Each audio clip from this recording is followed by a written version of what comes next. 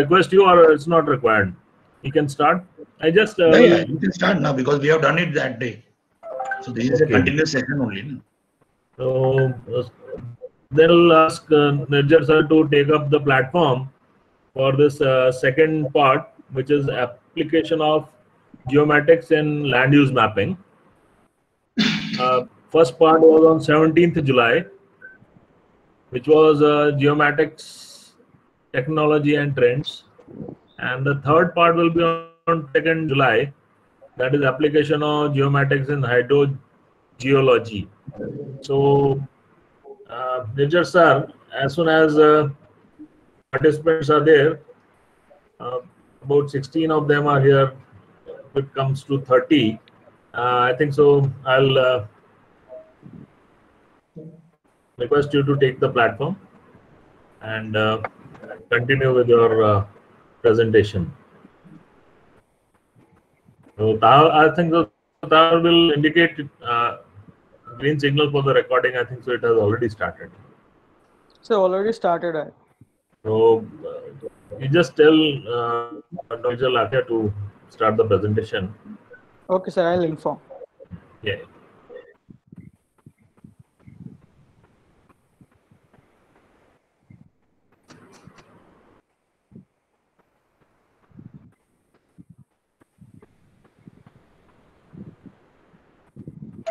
I think the task also informed that nobody should uh, start the presentation.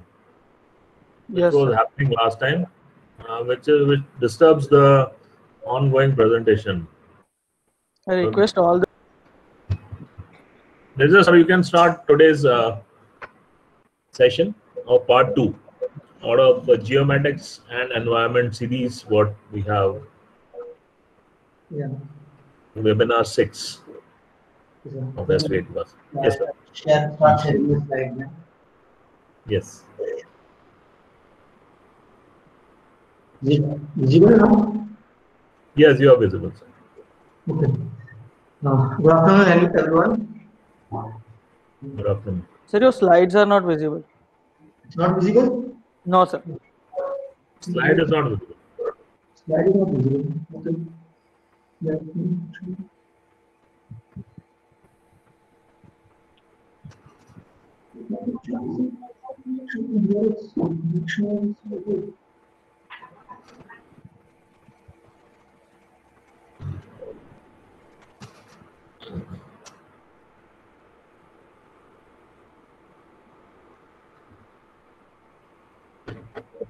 Now, Yes, sir. We can see your screen now. Okay. Yeah.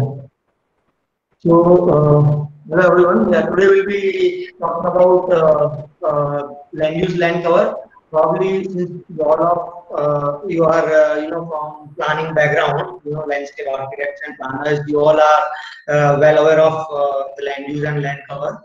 Um, but I'll be briefing you about how geospatial technology can be useful in mapping the land use of an area and what all things are required when we you know go for a project. So when we talk about land use land cover uh, those are uh, you know uh, to, spoken together but generally are a little different. You know, land cover more or less means a natural landscape of an area you know be forest you know, wetland and you know other kind of uh, land, you know, water bodies, uh, which is undisturbed, and land use uh, documents how we use that land, you know, for development purpose or you know conservation purpose or you know mixed use agriculture likewise. So uh, it's very important for everyone to understand how to utilize that land. You know, considering the kind of development that is going on, you know, uh, really haphazard development. You know, it's not really planned, though it's you know said that it's planned, but uh, you can see that what kind of a chaos it creates uh, in terms of traffic and everything. So today the focus is on the dynamics of the land use. You know, we all live on the land and we all are dependent on the land, and we know that uh, it's our most important resource. And any development that happens happens on the land that brings changes to it but we know that you know land is not limitless. We only have one earth. You know, the hands, the way we handle and use the land resources is crucial for our uh, social and economic well-being as well as for the sustained quality of land resources. So by examining all the uses of land in an integrated manner, makes it possible to minimize these conflicts and links uh, the social and economic development with environmental issues and protections you know thus helping to achieve our goal of uh, sustainable development so uh, you know for all these things it becomes very important how we gather the data how we present the data you know how we process the data uh, so a good data is very important for any kind of an analysis and we'll try to understand how uh, geospatial technology can help uh, uh, in this process. so when we talk about any kind of you know planning project or development projects what are all the processes uh, uh, generally the steps uh, you know that we go for our you know site investigation initially right collection of the information then assessment of the data, report writing or finding out the potential hazards, you know, the where spatial technology can help. You know, even before we go for a site investigation, we now can make use of satellite imaging. You know, remote sensing, uh, as discussed earlier, you know, can be of a very great help in such kind of a pre-visit site investigation. You can really understand all the changes or you know the pattern that the land has faced, you know, over a period of time. Then when we talk about actual field visit, you know, again our GNSS or you know famously known GPS technology can be of very great use. You know, uh, we can use our GPS to have a very fine level of precision, and we can also add information nowadays. You know, gadgets are you know smart gadgets, and you can easily add all the informations in the field itself. You know, so such kind of a uh, data collection is also a part of uh, geospatial technology now, which is becoming a mainstream instead of you know the previous uh, data that we used to uh, collect you know through total stations. Total station is again a very important and very useful uh, you know instrument uh, that we have. But when we talk about DGPS, DGPS has little advantage over it because you know it directly measures uh, from uh, you know coordinates, you know, latitude, longitude instead of you know arbitrary arbitrary coordinate that total station starts with zero zero, you know, and plus there is a huge, huge I mean, uh, great, I mean, kind of a software that are available, uh, which makes it possible to you know have you know attributes uh, fitted to it at site. Then uh, when we talk about assessment of all those data collected, you know, from various uh, agencies and various experts, GIS can be of great help even in database management as well as in analysis. So, uh, and then comes uh, finding out, uh, you know, suitable sites and, you know, potential hazard identifications and there, you know, GIS, I believe, is the only tool which can do your advanced modeling. So in all the stages, uh, as we speak, you know, GIS or geospatial technology can be of a great help. Only thing is that we need to understand this uh, technology uh, a bit and you know how to uh, you know uh, uh, use or prepare the maps design the maps you know in a way that it has a minimum error. Since we talk about technology there is a lot of details that you need to understand prior to preparing a map. You know these are smart maps you know a lot of informations are you know fed into those maps you know and even a, a, little bit of an error you know will give you wrong results you know and this is the reason why most of the projects you know at university level or at other levels you know they just stay there on paper, you know, and are, and are not really executed, you know, uh, the way it should, uh, or it's shown on the papers, you know. So it becomes very important uh, for us to map everything and collect the data. As in GIS, you know, I, I suppose everyone might be knowing it. There is a, very famous saying, you know, garbage in, garbage out. You know, so the, the kind of data that you you know feed into your project, you know, that's kind of output that you're going to get. So now, uh, again, we'll uh, come to the basics of the land use, right? So considering that you all are, you know, uh, in your, you know, third, fourth SAMs, you know, and probably you must be aware about the land use map. I'll again, you know, give you some like 20 seconds, 30 seconds to think over, you know, how you used to or how you apparently prepare your land use maps. So those of who you who have actually prepared the land use maps, I just give you 20, 20 seconds, you know, to think over it just note down the steps or just think over the steps or just count the steps how many steps that you can count to prepare a land use map before we start you know. Just think over you know what all things that you can do to prepare a land use map you know finding a locations or you know how how would you prepare a land use map? Just think over it for like 10 15 seconds uh, and I, i'll start how i actually prepare. You can always update this kind of methodology or there such some processes right? Even i have developed it for myself. You know there can be many variations to it depending on the kind of a project that you do or your expert level you know. But uh, some of the steps which i usually follow uh, i have tried to you know structure it out and present it in form of steps over here so let's just see what are all the steps that we can follow to prepare a good land use map. So first of all, let's see, first of all, what we need to do to prepare a land use map or to start any project, what we are supposed to know. We are supposed to collect the information about our project sites, right? That's, that's the basic thing, right? Uh, probably the project proponent uh, probably might be giving you such kind of an information that where they want to do it or you know what's what's the area uh, to you know consider for the projects if, in case there are no alternative areas so first first step would be to collect the locational information so once we know that uh, you know where our project falls second most thing is that we'll try to google it you know rather in this case google map it you know and we'll try to understand that project site you know study it you know that uh, how can we go or whether uh, there are any kinds of you know site hazards are there or not or you know what kind of site it is you know. So as we said you know pre field visit you know analysis kind of things that can be done by procuring a satellite image. so uh, second step would be to procure a satellite image then uh, the steps can you know can be changed. You know, I will just present it over here in a manner that I felt. So once you prepare, uh, procure a satellite image, one step that is mostly ignored by most of the people, even by the experts, right? That is to ortho rectify an image.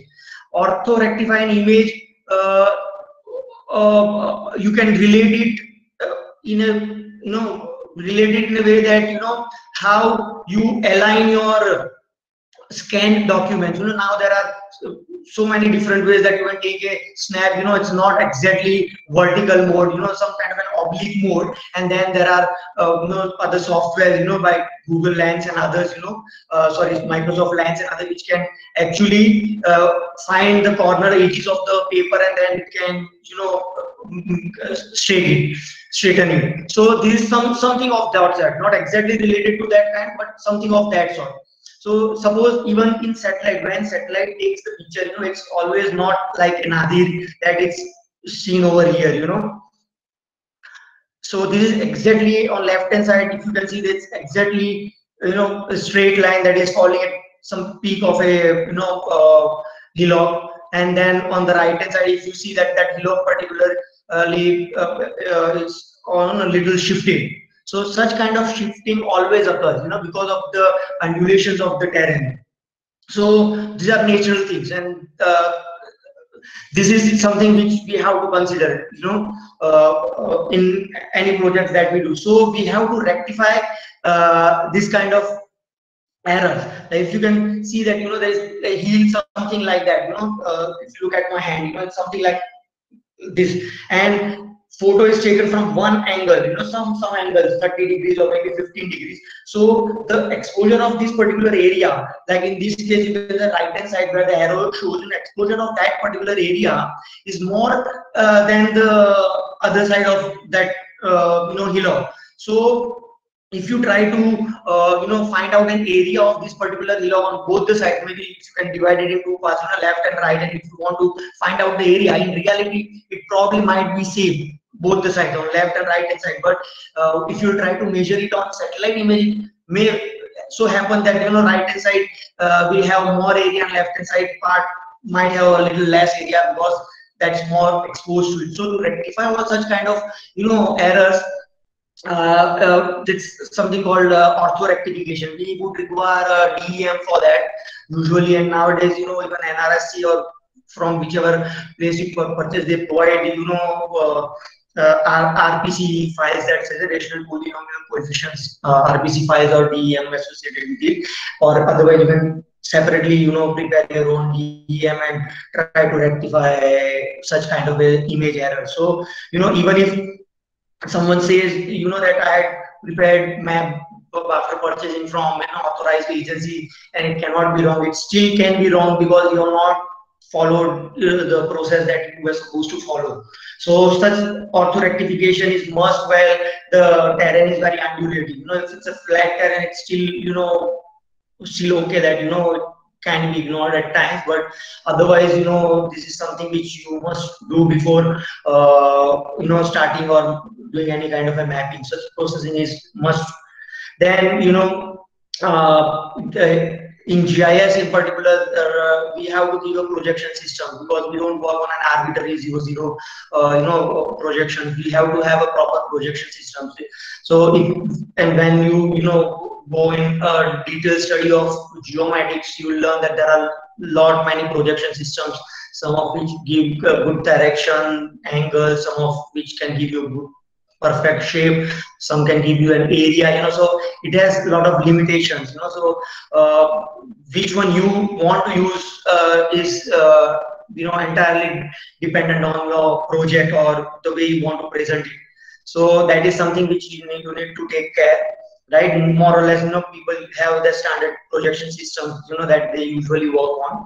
Uh, that's general wgs 84 that they are considered you know as one of the standards. But then you can always you know change it to your requirement. Then there's something called geo rectification. So those of you who knows AutoCAD, you know, you can relate it with your scaling, you know, that you scale it and you fit all the maps or overlap all the maps you know that the others have prepared or you have prepared uh, or your team has prepared you know. So but only thing is that this rectification is little different than the one that you do in your CAD systems is why it's called geo rectification because it's precisely uh, based on your ground control point so wherever you bring the cursor or wherever the, you you know point out the location is very precise you know at the scale of centimeter or millimeters if it's been done correctly.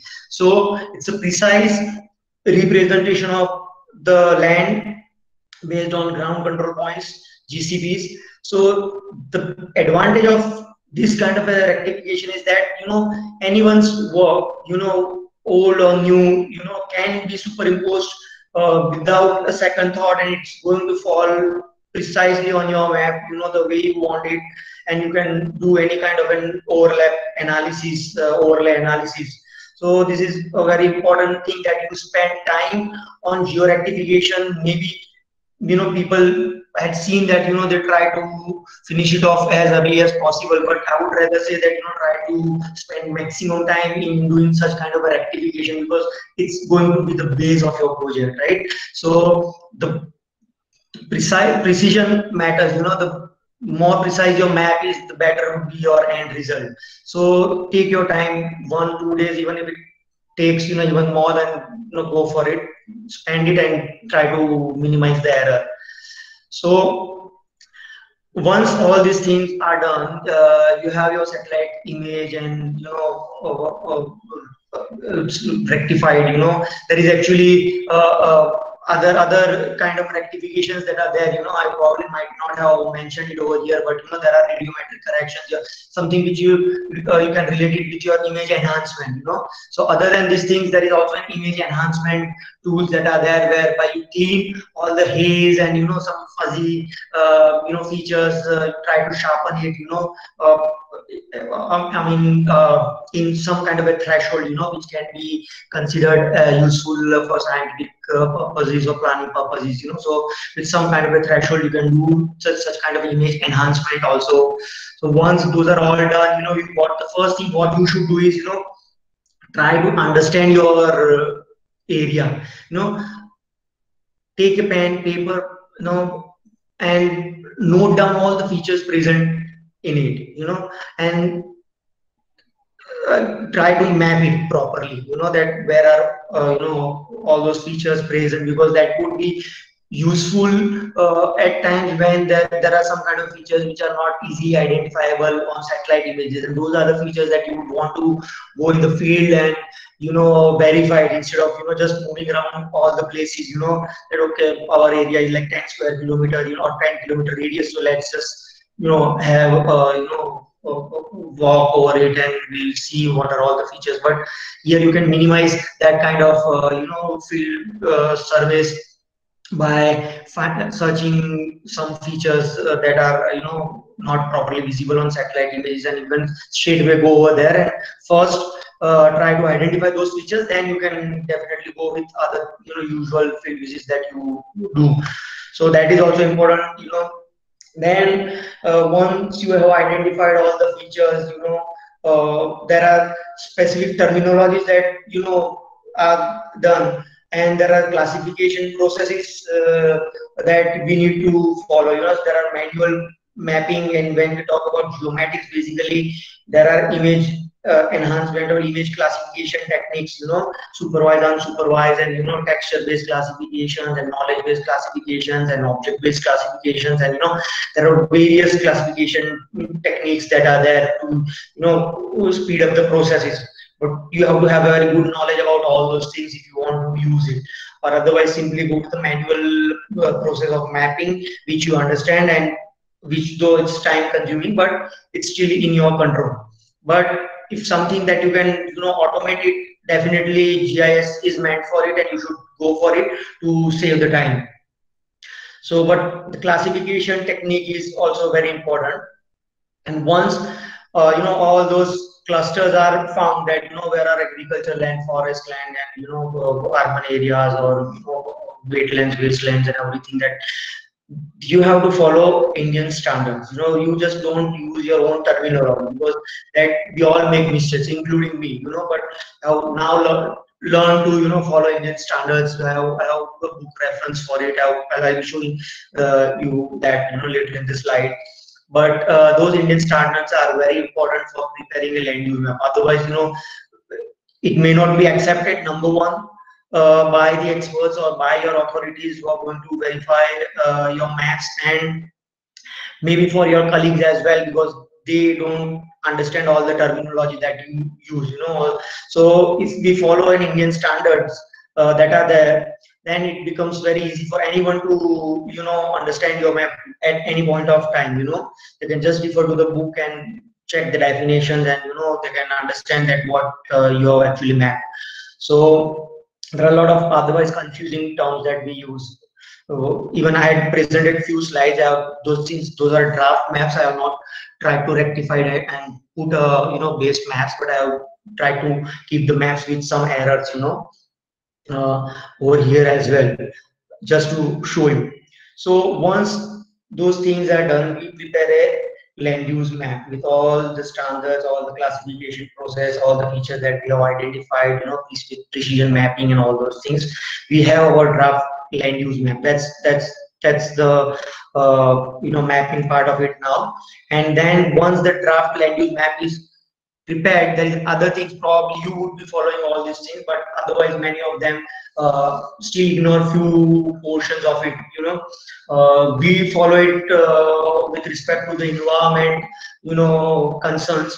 Uh, but otherwise, these are also very important things. People generally, you know, fall short of the data. You know that you know Forest Survey of India, like other ones. Once you map. Now again, there are so many confusions while preparing a land use map. There are so many things. One is basic. Uh, the important one is like forest. You know, I'll, I'll talk about it later on in the slide. But you should have not just a forest map based on your satellite images, but there are special terminologies and classifications that Forest Survey of India follows, right? They have their own maps. So instead of us simply mapping a cluster of trees as forest, you know, based on our understanding, we actually need to purchase or procure uh, maps uh, prepared by Forest Survey of India. There are again, as I told you, there are a lot of sites available now, uh, which will help you out to you know find out uh, the availability of the such kind of maps.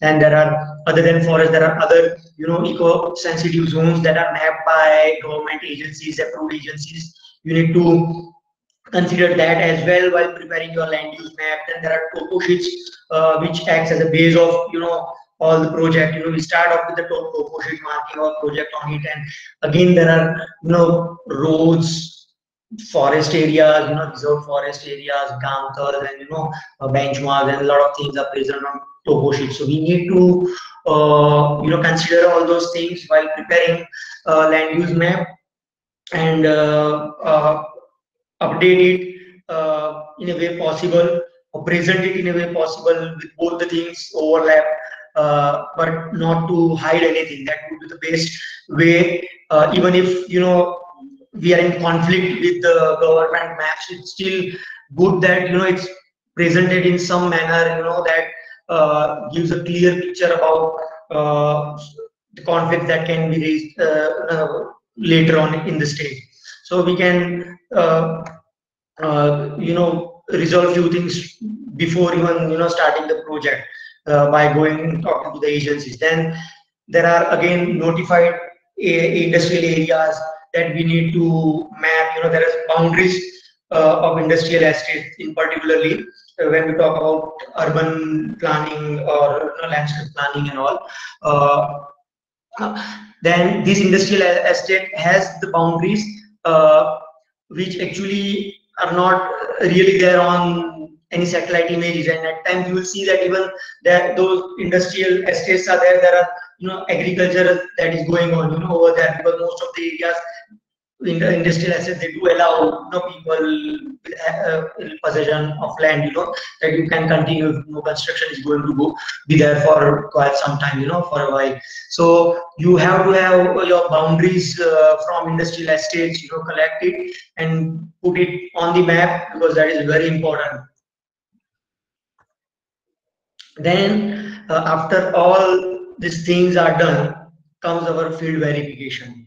You know so this is where we try to verify all the boundaries maybe government notified boundaries or you know or, uh, satellite the boundaries that we have verified from the satellite. Maybe satellite is not image is not recent and we can update it based on the field verification. There are a few things which might be hidden by the canopies of the trees. You know you can find it out you know anything and you can mark it or map it uh, so this kind of field verifications uh, is very important no matter what technology we are talking about, you know, GIS, remote sensing, and you know, we talk about all those things, but you know, uh, it's always good to verify it in field. That that that's the last word that you can say. You know, only thing it will be useful in uh, reducing the amount of time you spend in the field. But field verification is must for each and every feature that you have identified.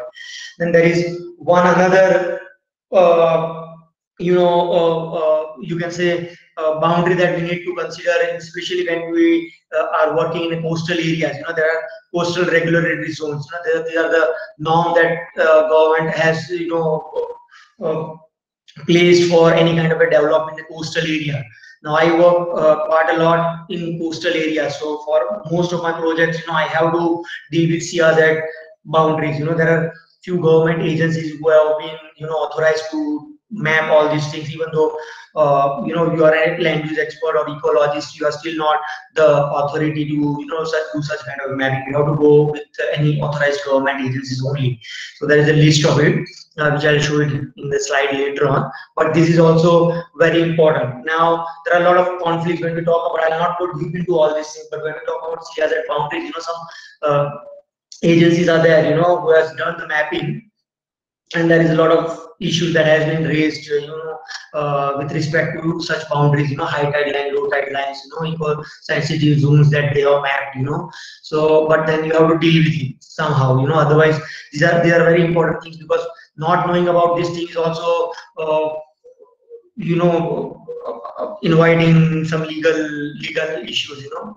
So once all these things are resolved, then you know, 14th step is your final land use map you know so this is how you prepare uh, land use map uh, which deals with most of the uh, you know issues related to your construction size and you you know the, the, the legal issues and everything. So uh, then again once we talk about a land use map you know again when we talk about collecting a satellite images working over it, on it, then it again becomes very important that which season we want to map, you know, or which period we want to map. Again, there are pre-monsoon, post-monsoon, depending on your, you know, project timing and uh, kind of a project you are handling. It again becomes very important to consider uh, which image or which season of the image uh, uh yeah, that you have to map. Otherwise there are such kind of a fuzzy boundaries. You know it, even for anyone for anyone it becomes very difficult to exactly map such kind of an area. No matter how expert or experienced the person is you know how to exactly map a water body or a wetland you know because there is a transition from a wetland to a land or water body to a land you know. So these are fuzzy boundaries you know that you have to consider it based on some kind of a threshold you know some kind of a technique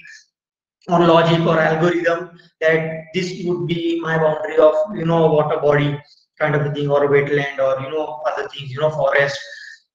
So this is also very important for you to understand before uh, you know uh, mapping any kind of a uh, resource. So it's just one example of it. Now uh, when i told about uh, talked about that you need to have an understanding of subject it's just because of uh, these reasons. You know that there can be errors in a land use analysis in all the stages, whether it's from classifying uh, you know features, you know, it's times confusing, you know, uh, collecting the data because we are all at times biased about an area. You know, when we I go and collect the data and you know extract the information out of the people over there or you know uh, from from the photographs and the places that I have visited. You know, I might be biased based on my experiences of such kind of an area or such kind of a project. You know, you have your own experiences. So our our, our collection of the data and note the method of noting it again. You know, uh, also makes a difference. So there are errors associated with the collection of the data as well and how you present it. You know, uh, as I told you, that if you don't follow the standards, there are again there are so many issues related to how to present uh, which colors to present you know for what feature you know so how we present it you know this also is very important and additional to all these things you know there are uh, errors which cannot be ignored uh, uh like uh, natural variations, you know, errors associated with natural variations, seasonal that I told you, error associated with the resolution of the image. You know, there are high resolution images available, but we may require a very high resolution or ultra high resolution as well. At times, high resolution image, if you want to do a trend analysis, may not be available for a few years uh, back. You know, if you want to do that kind of an analysis. If we talk about like two, 2000, you know, 2000 or before that, you know, there may not be a high resolution image. So you have to compare a low resolution or medium resolution image with a high resolution image and try to, you know, rectify the issues that are associated with the resolution. In a process, definitely there has to, there will be some kind of an error, but you have to deal with it. And uh, this then, as I told you, fuzzy boundaries. You know, there are boundaries which just you have to decide based on your experiences at times and then when we talk about processing of the data conversion of the data you know raster to vector vector to raster even you know such kind of uh, government maps and everything you know uh, it has its own inherent errors associated.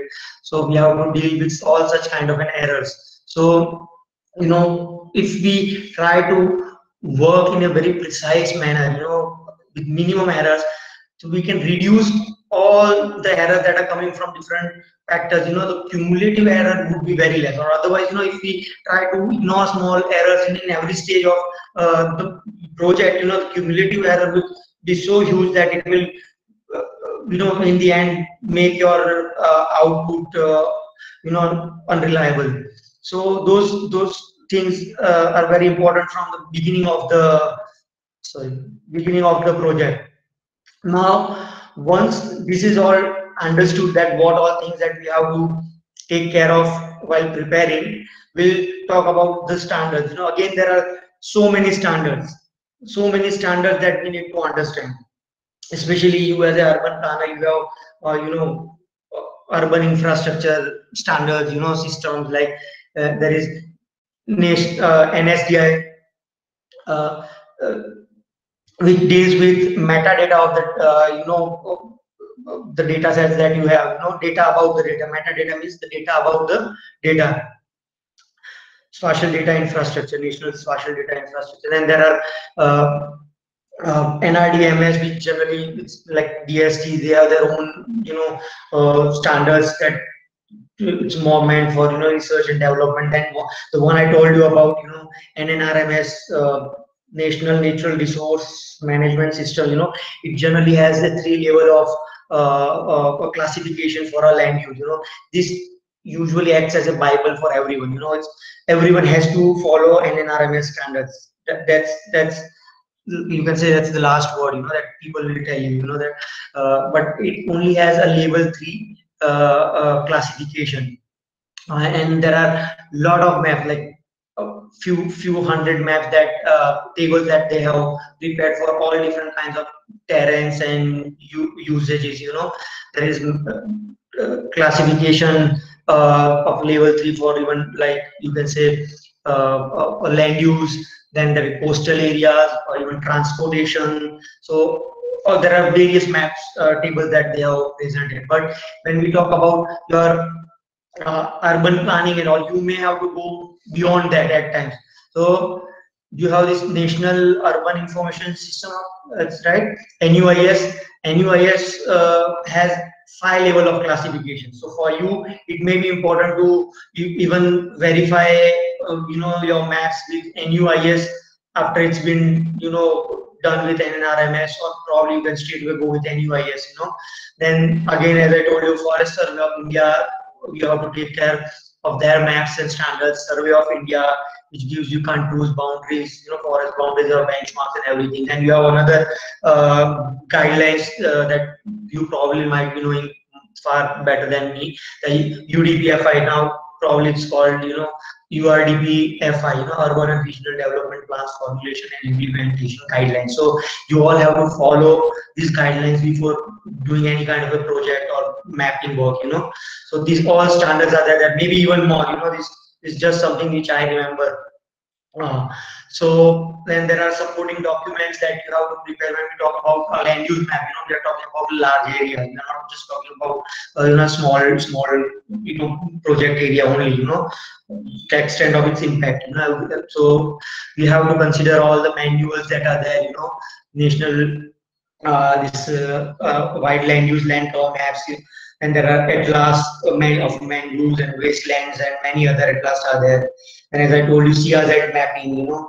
So uh, now uh, almost CRZ mapping has been finalized uh, uh, for most of the parts of Gujarat when we talk about Gujarat, right? Except I believe for Kutch and Morbi, it's still uh, pending uh, for some reasons, right? But otherwise, most of the maps are, have been finalized by uh, NCSCM, that's a Chennai-based central government agency, which has been given the work to you know map all the eco-sensitive zones at the falling, which falls in one A category, uh, and to map high tide line and low tide line. So there are various CRZ agencies, uh, authorized agencies. Uh, you know, there were seven now, eight, even more actually, nine. This now is the whole slide. So I've just included one more uh, to change seven agencies, right?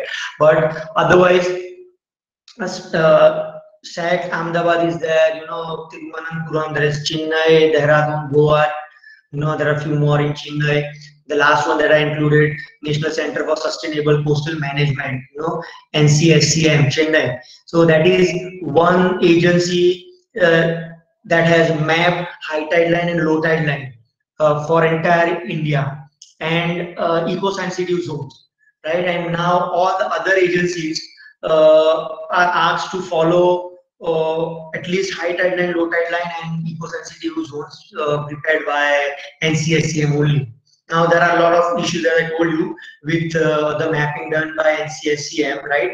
But uh, that stays as an issue because nobody knows who, who is correct and who's wrong, wrong, right? But then you have to deal with all all these kind of things. So, but the final uh, uh, word is from NCSCM only that once they say that no, it is there because they are very senior and very experienced people, you know.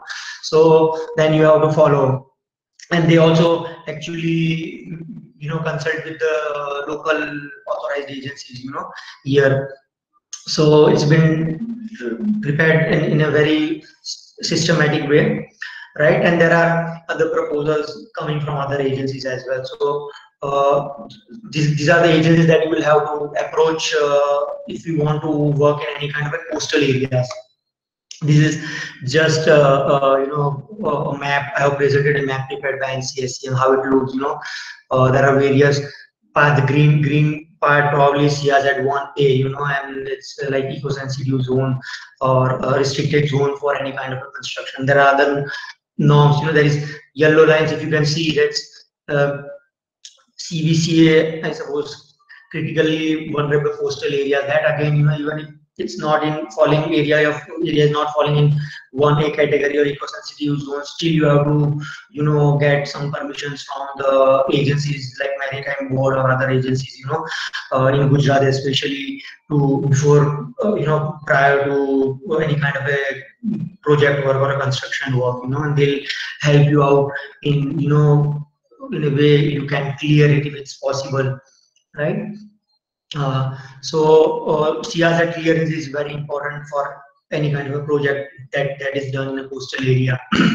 so I've just presented what all falls in you know one A category and two uh, this this during my you know environment slide. So you know biologically active mudflats. I was just Uh, I just highlighted it because you know when we talk about mud flats or wet area, I know it's basically an active.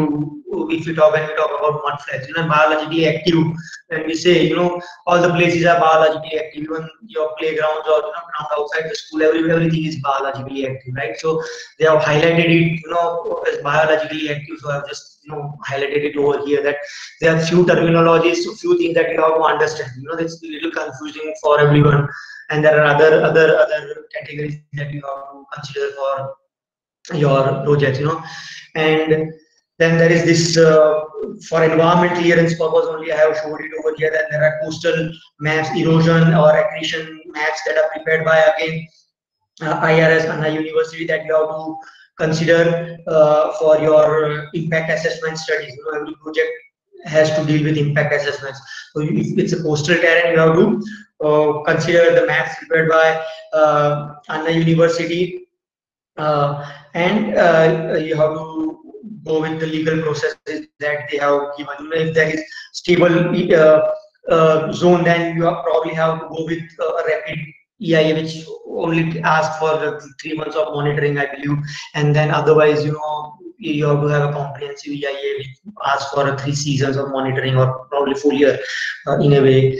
There are again now if we talk about this shoreline change, you know, due to uh, erosion accretion, there is another one that I had actually found out uh, that's prepared by ISRO that also uh, you know shows erosion and accretion in same area.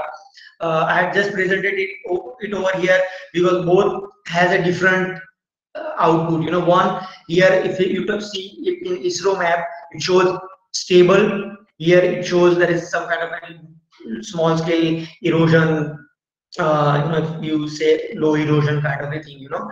But then this doesn't mean that any agency is wrong. Both are correct in a in a time frame that uh, or the database they, they have considered. So you have to consider at what time this data were prepared. You know, you just can't blindly uh, take one of it and start working on it. So that is why I tell you that you know knowing all the agencies or all authorized agencies and their work, you know, if these are made public, you know, that it becomes very easy for, uh, you know, environmentalists or planners or any other persons, you know, who's doing some kind of a work based on, you know, spatial area, you know, uh, then it would be very helpful for them to, uh, you know, resolve such kind of uh, issues or at least you can approach and you can learn from these agencies why it was done so for that particular period. So again, you know, maximum amount of data collected, uh, even if it's for the same category, you know, little helpful for your project. So when we talk about classifications, that is just the level three classifications that I had just put, uh, uh, cut it out from NNRMS book and now presented it over here, you know. So this is kind of uh, level one, which talks about, you know, build up area and agriculture area, other categories in the coming slide. But then in level two, if you talk about build-up area, you, you can further classify it into urban area, rural area, mining industrial areas and all. And then level three, you can again uh, classify it, you know, residential, which recreational, public, and level four. Now you you are best uh, people to you know go for level four and level five. You know you can further classify it public, semi-public, what you can do. You know recreational you know gardens and you know all those things can further classified you know parking areas and likewise you know if you want transportation uh, uh, if there is a can further classify transportation in terms of you know like uh, railway tracks or you know major road minor road national highway state highway car track kind of a thing you know. So you can go on you know uh, increasing your level of classification based on the requirement of your project. Same goes with agricultural land and forest and you know other other categories of uh, land use. So depending on your project, you have to consider the level of classifications that is suitable for your project. So they are just uh, some maps that I have or some uh, slides that I have kept from NNRMS. And there are few other confusing issues that are there like even in NNRMS that I have found, probably I might be it, but uh, is the category of forest land. Now, th th there is one one thing that I have not found. Hello, there is one thing that I have not found is trees outside forest. When you talk about your urban uh, urban scapes, you know, uh, like I usually present it as cluster of trees, tree cluster kind of a thing, or tree clad area.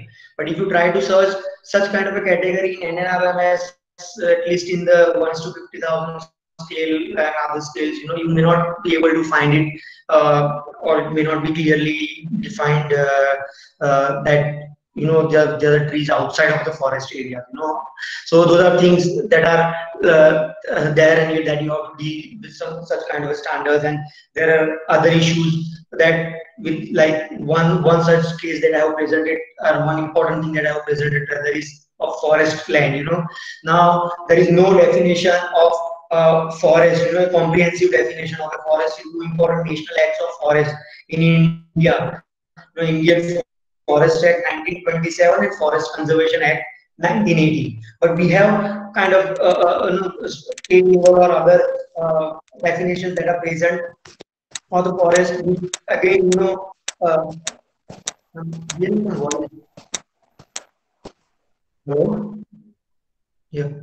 So the like Forest Act in Meghalaya, you know, now it says that forest, you know, if in any area there are reasonable number of trees, say no less than 25 per acre, reserved or any other forest producing growing on such an area uh, can be considered uh, as forest. Now, Honorable Supreme Court of India in its order dated, you know, of 12 12 1996 it says the word forest must be understood according to its dictionary meaning. You know, uh, uh, uh, the description covers the statutorily recognized forest, whether designated as reserve, protected, or otherwise. You know, uh, so you have to understand that uh, you know uh, forest as understood in its dictionary sense, but also any area recorded as forest in the government record is irrespective of the ownership, private or probably I, I believe it's private or public, you know. So irrespective of the ownership, it, it may be considered as forest, you know, if it to fall in dictionary meaning. Then there is uh, traditional forest dwellers, you know, recognized of Forest Act 2006. It says that, you know, forest land means the land of any description falling in an area and includes unclassified, undemarcated, existing, deemed, protected, reserves, sanctuaries, national parks are all forest area. And then there is similar you know, Indian State Forest Report, which has, says that, you know, all land with more than one hectare area with tree canopy density of more than 10% irrespective of the ownership and legal status. Then for clean development mechanism, we have a different def definition of forest, which says the area of at least 0.05 hectare, probably it's like 5,000 square feet, you know, roughly, and that too with minimum tree cover of 15% only, with a tree height of at least 2 meters. That could be considered as a forest. You know, so there are all different definitions that are present uh, in India.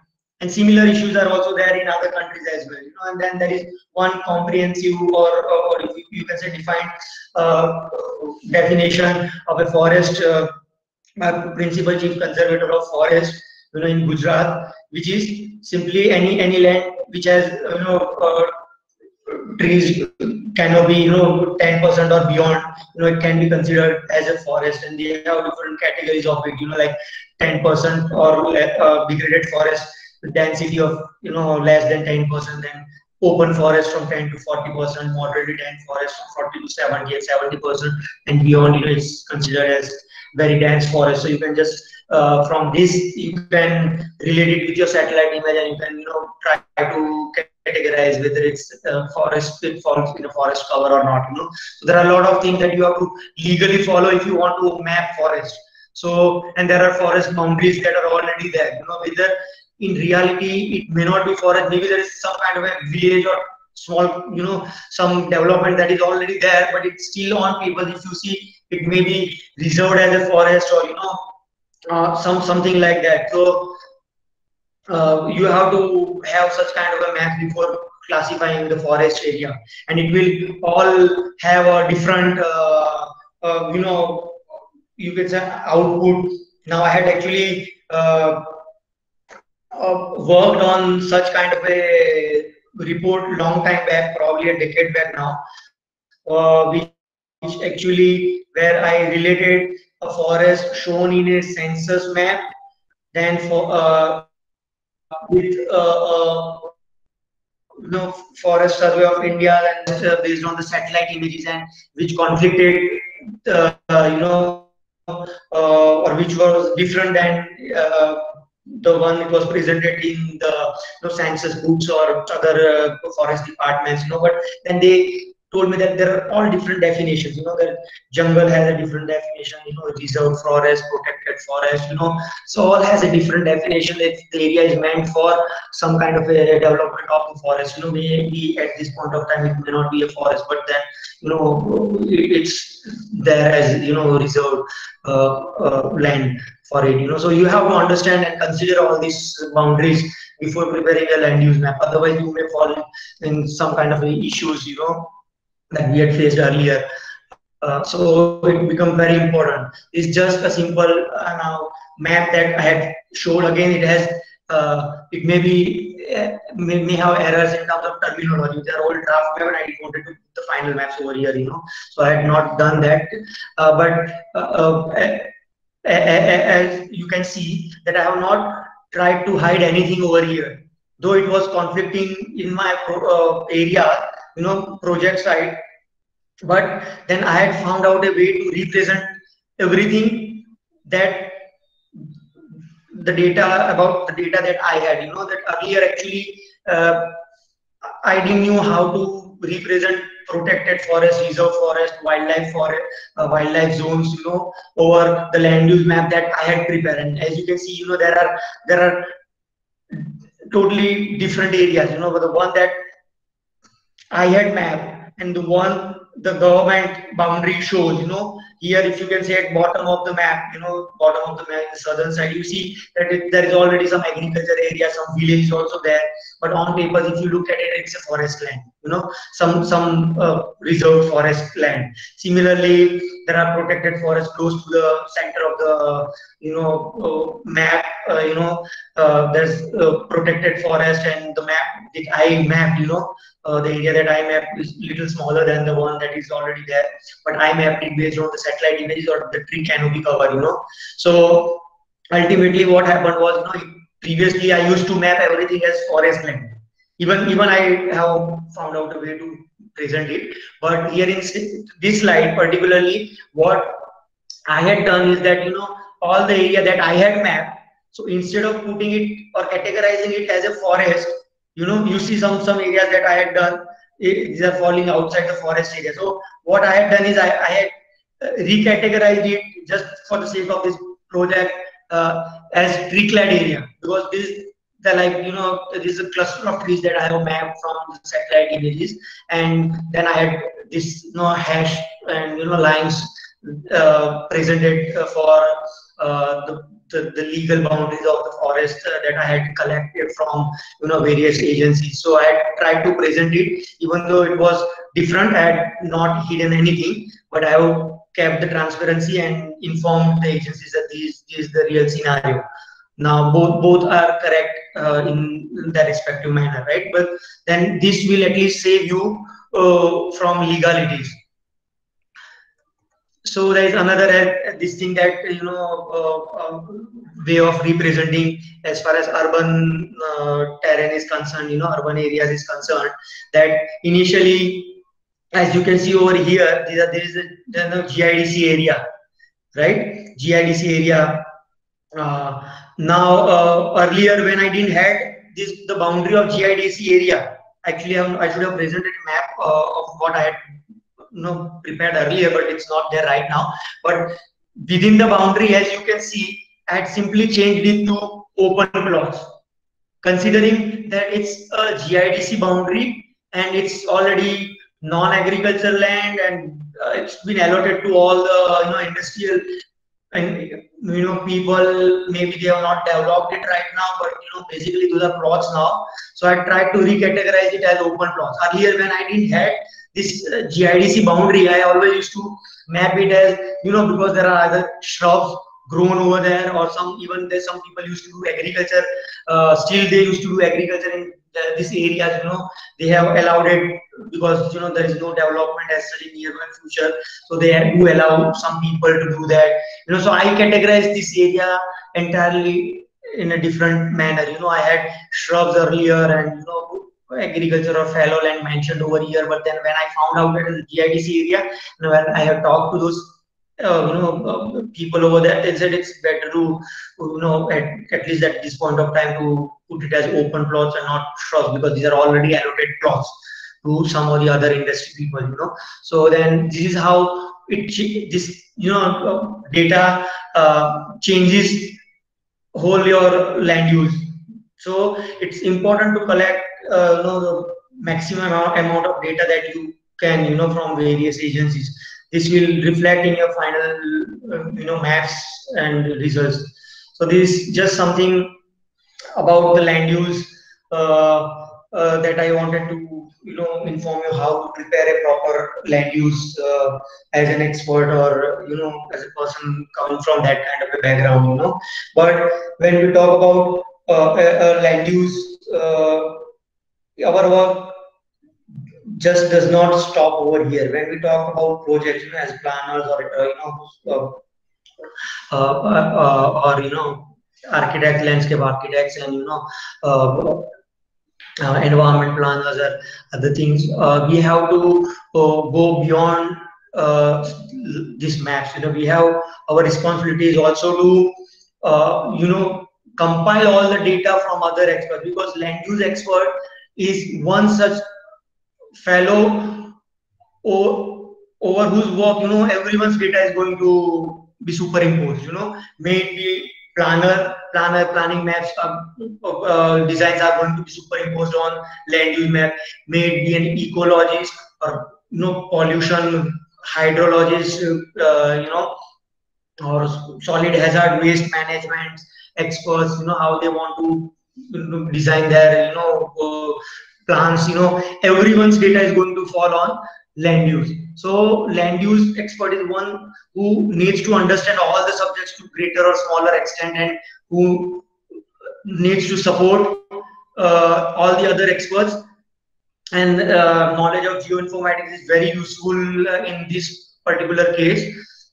And then you also have to properly understand their subject you know what issues they might be facing what impacts they might be having you know in their domain of expertise. So you have to understand. So what else a land use expert need to do beyond just mapping? So let's say about talk about a little little about your project steps you know prior to a receipt of project you know you have to understand the overall project. Land use expert has to understand everything you know to an extent he can or with the help of you know teammates then also visit the site you know with uh, coordinators of the project and understand uh, you know prior to you know starting the work then there are pre-feasibility stages that they have to uh, you know you have to do.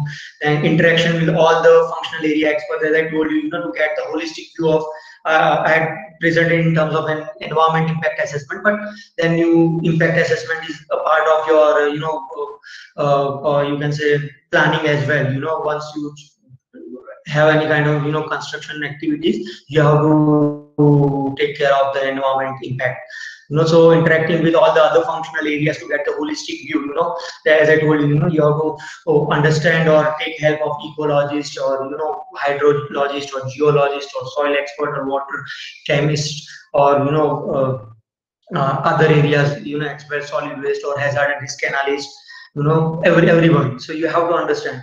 So and then to identify the gaps and subsequent works towards addressing other team members work and you know sampling location now everyone has to uh, do a sampling with respect to their functional area. So you can also help them design their samples you know from where you can collect it you know because you you are one person who's going to survey all the areas you know which other experts may not go everywhere but you have to go.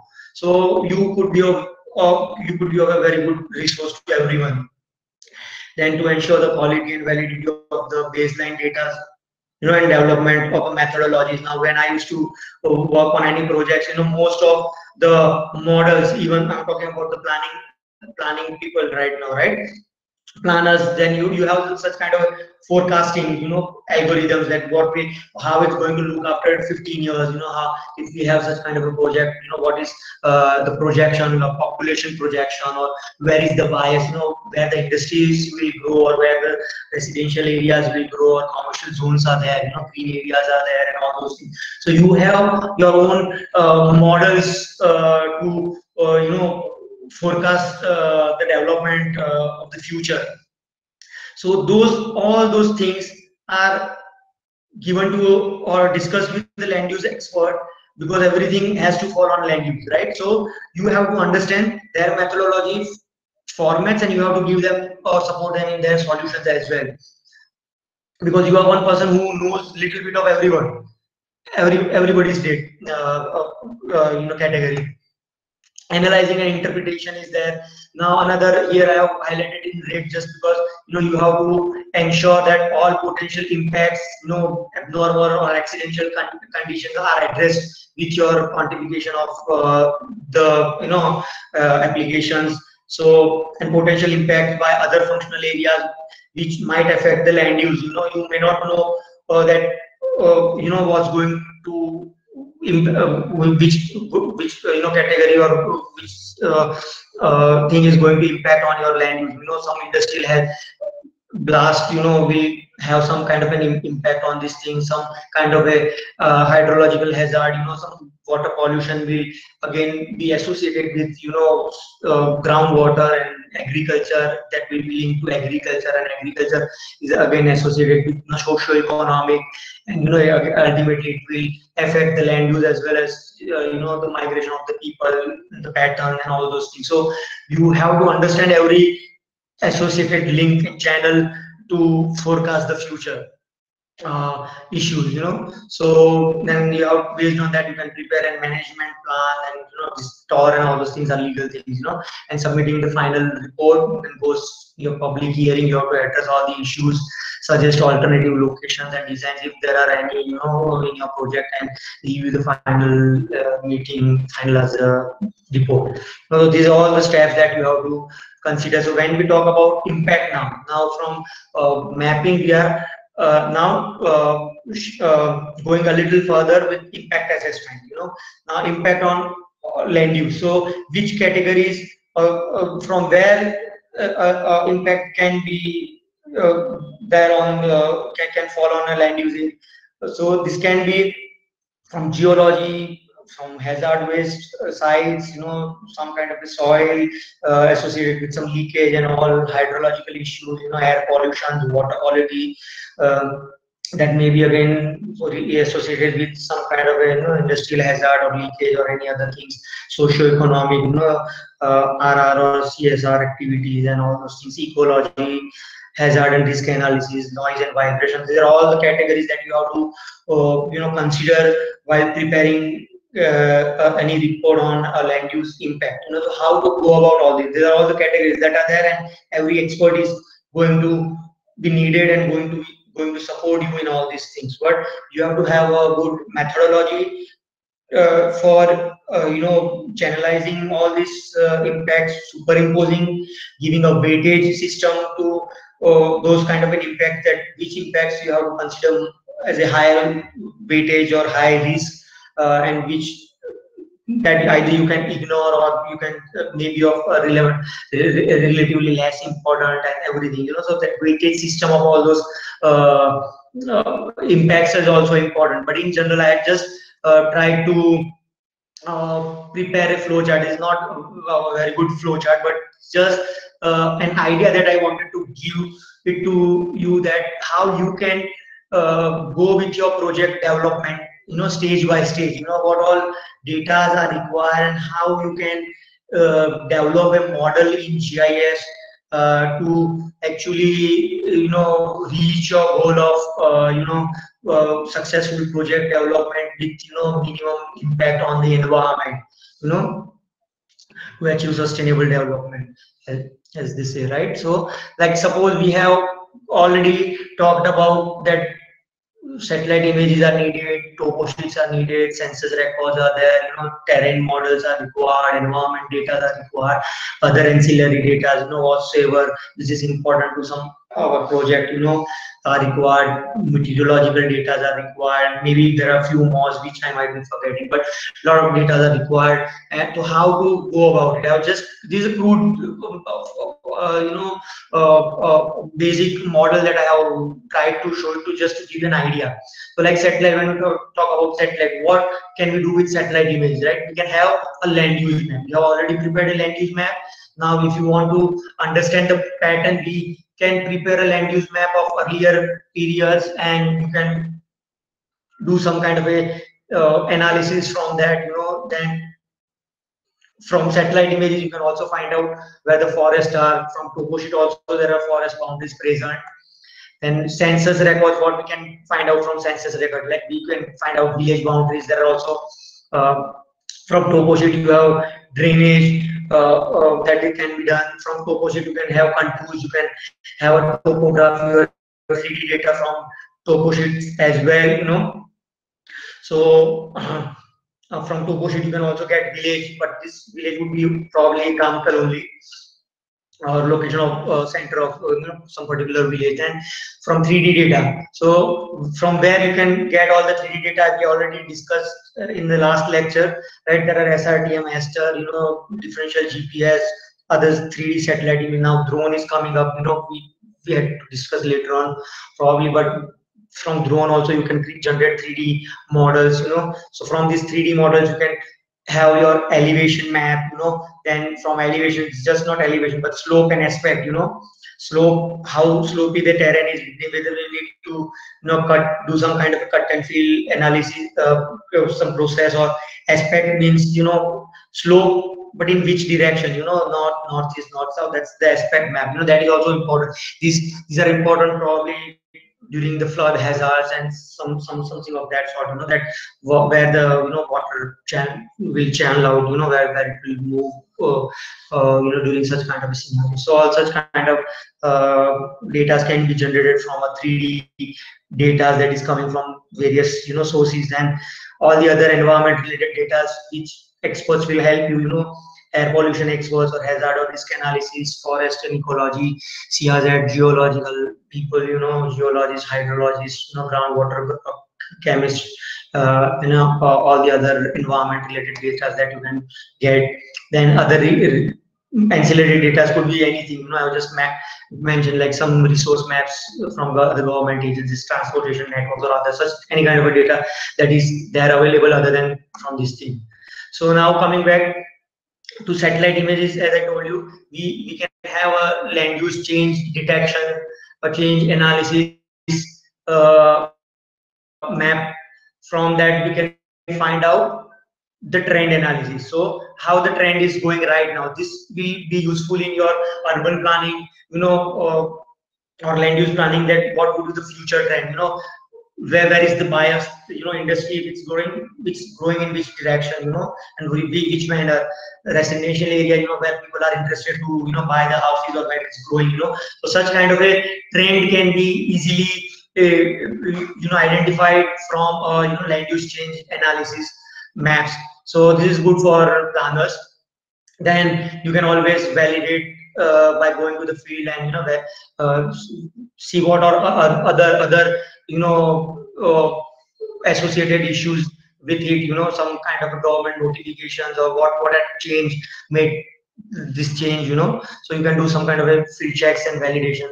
Then from drainage map you can have a drainage density or flood you know uh, with, especially within some you know kilometer radius from your project you need to have a flood model for that. Then from village you can have a population amenities uh, population plus amenities. You know, census book uh, probably it has all these things now, and it's available online now. You know, then check for you know ground realities and public demands, and you know what exactly is the real scenario over there. And you can have your socio-economic map or socio-economic report, uh, and it's it's close to your project site and it requires a rehabilitation or something like that. You know, uh, rural rehabilitation or if there is CSR uh, that needs to be done. You know, now actually from uh, corporate social responsibility, uh, now they are probably you know considering their uh, corporate environment responsibility. We'll not talk even, much about it, but CER is the other term that is now you know generally considered for this kind of activities along with CSR. Then from elevation, you can find out water accumulation zones, what where are the depressions, you know. So this you can find out the water accumulation zones. This is very important during the rainy season, especially you know when there is a high flood uh, or rain. You know you can see which roads can be blocked or can be damaged, and you can plan out an alternative routes about either you can you know increase the elevation or you can uh, plan an alternative route that in case such kind of a situation occurs in future then there has to be an alternative route to or approach road to our industry or our plan you know. So such kind of analysis you can do it from uh, you know 3d elevation models as well. And then meteorology rainfall data and all this gather you have to have a very good model for it you know. There are various multi criteria analyses or various you know maybe you have your own planning models um, which will give you a suitability map. This suitability I have mentioned as an industrial suitability map, but this you can prepare it for any kind of a maybe maybe you know your uh, residential or commercial or you know some kind of planning township you know so you can have such kind of a, a model run, uh, run for uh, any kind of stability map. So once you have all the zones, now this will give you the zones that which are the most suitable areas for your project or the, the development that you want to do, right? So once you have all those pockets of you know suitable areas, you have to find out the base one. So you have to go with your own micro level planning that you know which would be suitable for that Uh, a particular project that you are handling right now. So micro level planning would be there, you know, where you can get all the environment clearance, where all the feasibility of people is that, you know, to approach and everything, and you know, other issues that you know, you know, as a planner. So micro level planning happens, and then you know, you finalize a project side. And once these project sites are finalized, ultimately what we talked about, you have to go with all the impact assessments again. That you know, if this is the project site now that we have finalized, what would be the project probable impact? Uh, you know, with all the areas that are very close to our project or you know associated uh, uh, with the, the, the features that are present uh, at the project site, you know, nature or otherwise, you know, all, all things that you have to consider. And you probably may have to go for environment clearance, which will, in any case, uh, you have to deal with all these things. So such kind of a model can be done, and it's a you know concise uh, way or to prepare a report and which will give a clear picture about why you have considered the site, what are the key objectives, plans, and why it is suitable to the environment and all the local people if we have uh, you know project coming at this particular area. So this is very important.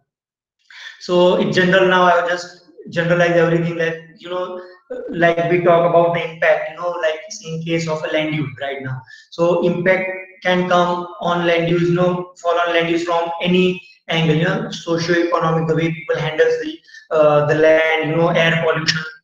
If there are some some uh, you know uh, pollution control measures not taken properly or some equipments get damaged or some accidents happen you know like you know you have seen a lot of cases that are there you know i don't want to name it but you already know that how hazardous you know the viruses and this thing chemicals has flown and uh, in past and you know changed the whole scenario of that particular area. So then there are other health hazards associated with these. Even the noise pollution and hydrological uh, you know uh, hydrology as i told you groundwater quality reduces or the groundwater itself uh, you know uh, level goes down then also it will affect the agriculture or the you know the percentage of water that we get on land and the whole scenario can change you know so likewise, geology, soil, ecology, know, solid waste management, and water quality, and all these categories will have at some of the other stage impact on the land use. And you have to mention or deal with it, and you have to, uh, uh, in a proper way, uh, mitigate it. You know uh, what are the measures that you can do. So that is again a part of a land use expert that you have to also give a solution as a team member, how to mitigate all those uh, impacts uh, in their respective uh, domain and your domain as well. So that is also a part. So when we talk about um, impacts and mitigations, what, what are the things that we have to consider? You know, what are the things, some basic logic or the fundamental thing that we have to consider for any impact analysis. What are those? One, is the source of impact you know from where the impact is going to come you know if it's hazard risk it may be some kind of an equipment that not the, the storage tank that can blast or pipeline that far to blast or water quality then you know maybe there is a bore well and industrialists dump some kind of a chemicals in this or maybe some kind of a pollutant get leached into it you know or leak by some leakage storm stormwater drainage some this can happen you know. What is the source of the impact? You know we have to identify all the possible source in all the possible categories or domains uh, and we have to uh, jot it down that what could be the source of the impact. Then when that is done we have to understand what will be the extent of the impact. Now this can be only done with again gis right? Because it's something which you have to present it on map you know? So which is the extent of the impact? Like if there is an air pollution you know even uh, some kind of a damage in air equipment the, the chemicals uh, you know SOx, NOx and everything it can flow to kilometers and kilometers away and can damage the crops or you know surface water and can also have a health hazard it's little close to the you know impact area you know still few meters uh, than that you know. So air pollution may have a larger extent. Water can be uh, impacted uh, can impact an area in large or small extent. It's really unknown because there are no aquifer maps that we have right now with us. You know, good aquifer maps that we can really rely on. You know, though of course there are not many prepared by uh, Central Groundwater Board and which are very good as well, but still is something which is not visible. We cannot really understand it or consider it as perfect from anyone, right? So such kind of an extent we have to understand you know that what would be the extent then again the magnitude of that impact you know when you talk about extent you know maybe it's going to impact some say like three kilometers but what would be the magnitude? Close to your project may be having a severe damage to your health maybe death you know anything. I mean we are very close like 500 meters or, or maybe uh, like 50 meters 100 meters and subsequently the you know magnitude of the impact will get reduced. So we have to have those zones of you know or range of you know uh, magnitude or you can have contours of it you know which says that uh, that this is the real 100% hazard to health and this like 50% hazard to health this particular zone and kind of thing so such kind of representation on map you know especially on a land use map is very useful. So having a data of such kind of hazards or coming from all the other experts and superimposed on land use will give you a very clear idea of how to mitigate it and the receptors of the impact you know who's going to be impacted livestock you know animals, people, agriculture, water bodies. So who are the receptors of the impact? We have to also identify that if such kind of a uh, uh, accident happens, then who would be impacted the most, in which range, you know? So if we can develop any kind of an artificial intelligence system, or if we know uh, prior to, uh, you know, execution of all these projects, we can have a very good idea about, you know, how to uh, have this kind of a uh, quick, you can say, actions uh, when actually something of that sort happens. So, you know, uh, we have to know the frequency, duration, time, reversibility, whether it's reversible or not, and everything that is there about the impact, and we have to help all the uh, you know functional area experts uh, you know associated with that particular project. You know, so I'll just move a little quick now. So just uh, to have a checklist, you know, to have such kind of what questions we need to ask, you know, so you you, you can just think oh, oh, oh, at your end, you know that what things that we need to ask to map such kind of an impacts.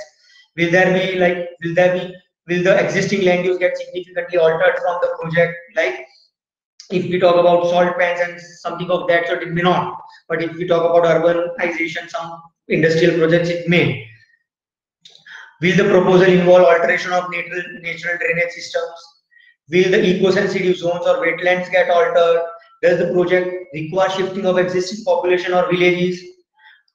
What are the likely impacts of the project activities on existing facilities or you know, land use, ecological biodiversity adjacent to the project site? I had actually a very local example, just a, a, a, very local example of two, one or two projects which I actually uh, uh, had seen uh, not as a land use expert, but in general by moving around the places you know these these some area in gandhinagar itself you know uh, close to ahmedabad gandhinagar itself where i used to go for a photography. You know i'm, I'm not going to mention the place uh, but this is a bird nesting site and there, there was this particular location that i have mentioned sand mining took place you know uh, and we usually used to go there for photography of you know and there is like hundreds and hundreds of nest of bee-eaters. And i don't know the whole area you know when it, the sand mining took place you know i mean i don't know what have happened to those birds you know. There are still i mean we still go for a photograph and fortunately some somebody has actually uh, filed an uh, you know rti and uh, apparently on hold. But you know as a human or as a, as, as, as aware, you know, environment aware person, you know, you have to consider all these things. Uh, it's not just that you get a clearance of some kind of a project and you start building it, not considering, uh, you know, what would happen to the creatures, you know, animals or birds over there. You know, you can check in Gandhinagar, you will easily find if you ask any photographer, you will find this area and uh, you see that how many birds are there. You still the hundreds of nests are there. But what would have happened to that particular portion where they have done the mining? So it's one just case. Another that is just some photographs to show you. Now, this is a very close site. I already mentioned it. This is all legally done, right? There's nothing wrong with what they have done. But uh, this here, uh, I also used to go uh, uh for some bird photography at Thol, and then I had I came to know earlier, you know, that there's one Kanjari village near nearby, you know, some seven kilometers where there is a deer park. And this was the area when I used to uh, go for photography for deers. Uh, this, this this was how it looked, you know. But just two years back, now as you can see if the cursor cursor if you can see the cursor but from right hand side where this Kanjari deer uh, park is written you know from there you know deer used to uh, run from one side to another and then from this other side and circle it around and then you know, used to come back and like you know we, we always used to you know walk around this whole area. Now in 2018 i suppose some some you know uh, road construction started and i was wondering that this deer park it must be a reserved area right? So how come uh, you know such kind of a construction is happening over here? But this this this uh, area just next to that you know and this of course it's all legal and they say that they are the private lands and you know they have already had a huge investment and they are going to take care of you know all the deals and everything of course that they will do as promised. But then it's still still i mean if there is a road construction that's there and then these these the scenario is like 2020 image right? Just recent i downloaded this morning only just to update it. And then i saw that you know now it, it, it's so much of construction you know there is road there is so much of construction right you know uh, above the the area that's mentioned as deer park but that is where the deer used to run or there, there's still a lot of space. They, it's still not like you know uh, they'll, they'll be confined to an area but there's still a lot of space that for them to move around and forest. Of, of course they, they say the resort area is somewhere little beyond this area. It's not exactly this area.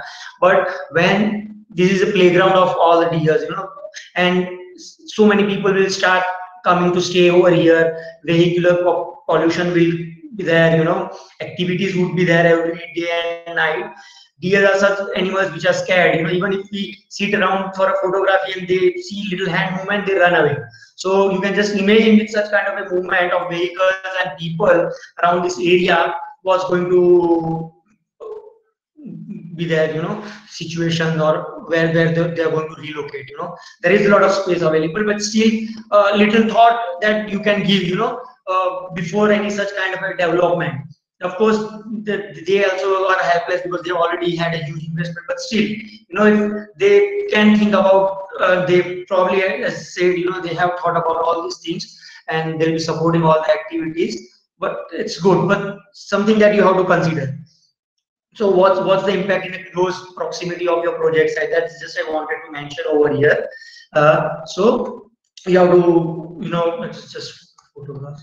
So the thing is that we all have a, a shifting baseline syndrome, you know. Uh, so what it means is that the baseline is always shifting. Now the area which you know I used to consider as a green area, there's nothing else, only agriculture and you know forest areas and only deer, deers are there. And now during that particular project when these uh, people had you know planned or proposed they would have kept it as a green space, right?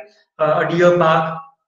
They may be having some kind of an ecological park or ecological designs, something of that sort. But now, for any other project that's going to happen in 2020 or after 2020, uh, they would have different base data, right? They would say that this has uh, uh, a forest land or agriculture, but there is a township over here, or there is there is some kind of a you know build up uh, some kind of a society or you know some clusters of buildings are there you know. So there's already a movement. So we are not going to uh, we are not going do, doing any harm you know. There's already a, public already over here and we are just uh, adjacent to already existing pro such project you know. So we are not doing any kind of any harm. So next time when their projects get approval there will be two societies then there would be third, fourth, likewise, and soon within five, ten years or 15 years of time, there would be either no deer park or there would be some kind of a very good design which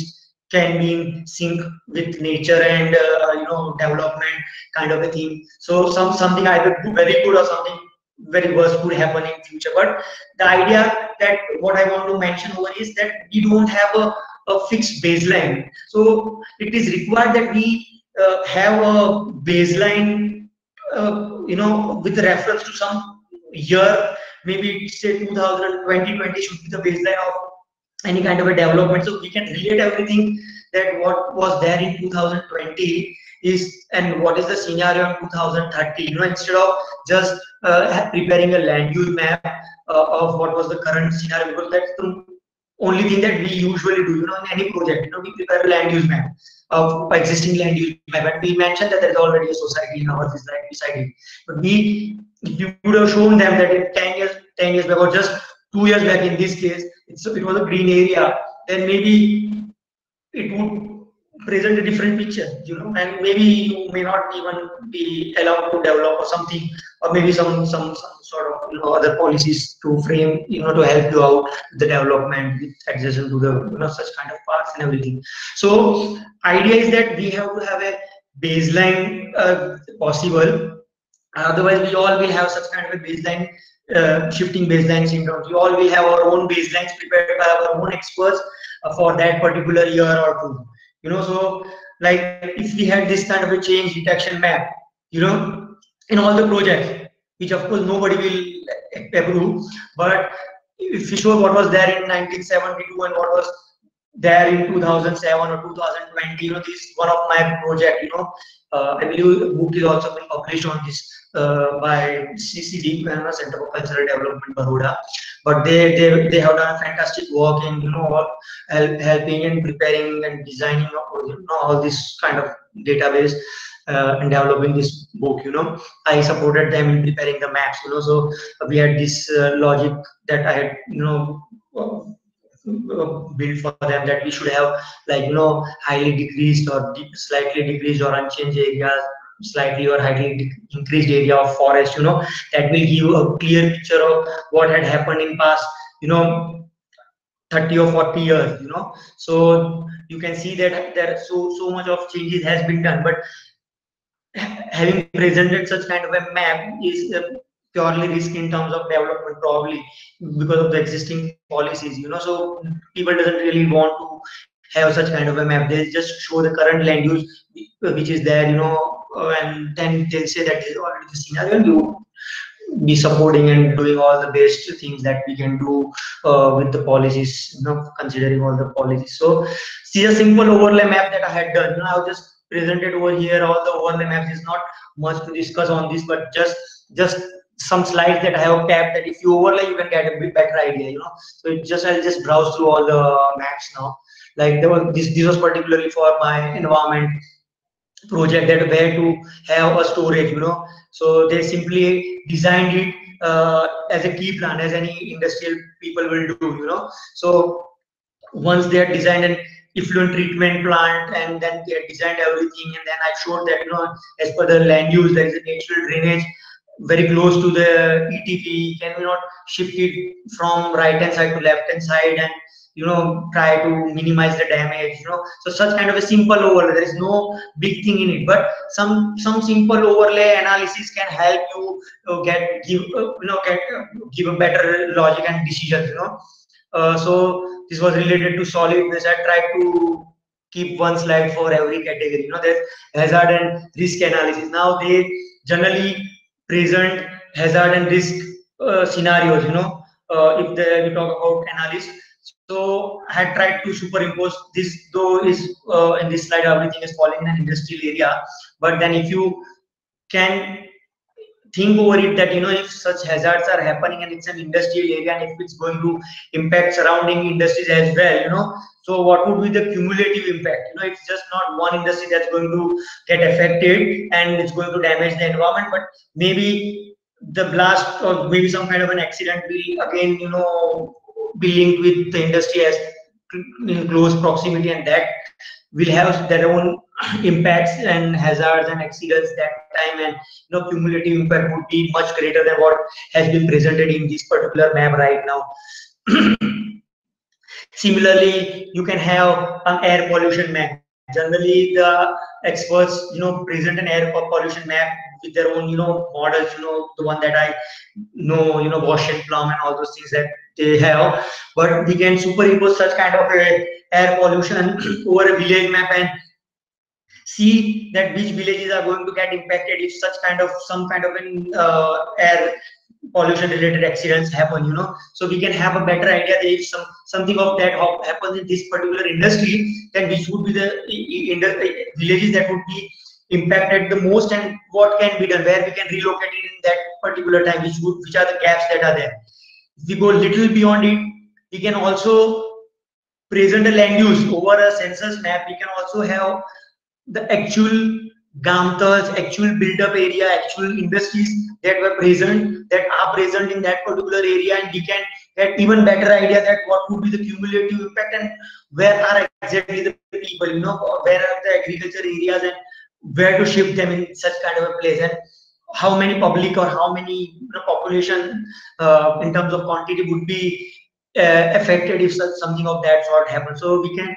have a land use map or census or socio-economic map superimposed over a land use map in particular build-up areas and all those things, and then you can have a air pollution impact assessment done you know so all those combinations simple overlay combinations will help you give you know better idea about uh, such kind of scenarios similarly have simply overlaid on a land use map that what kind of features of land use, you know, or the categories of land use that might be affected by such kind of an accidents, you know.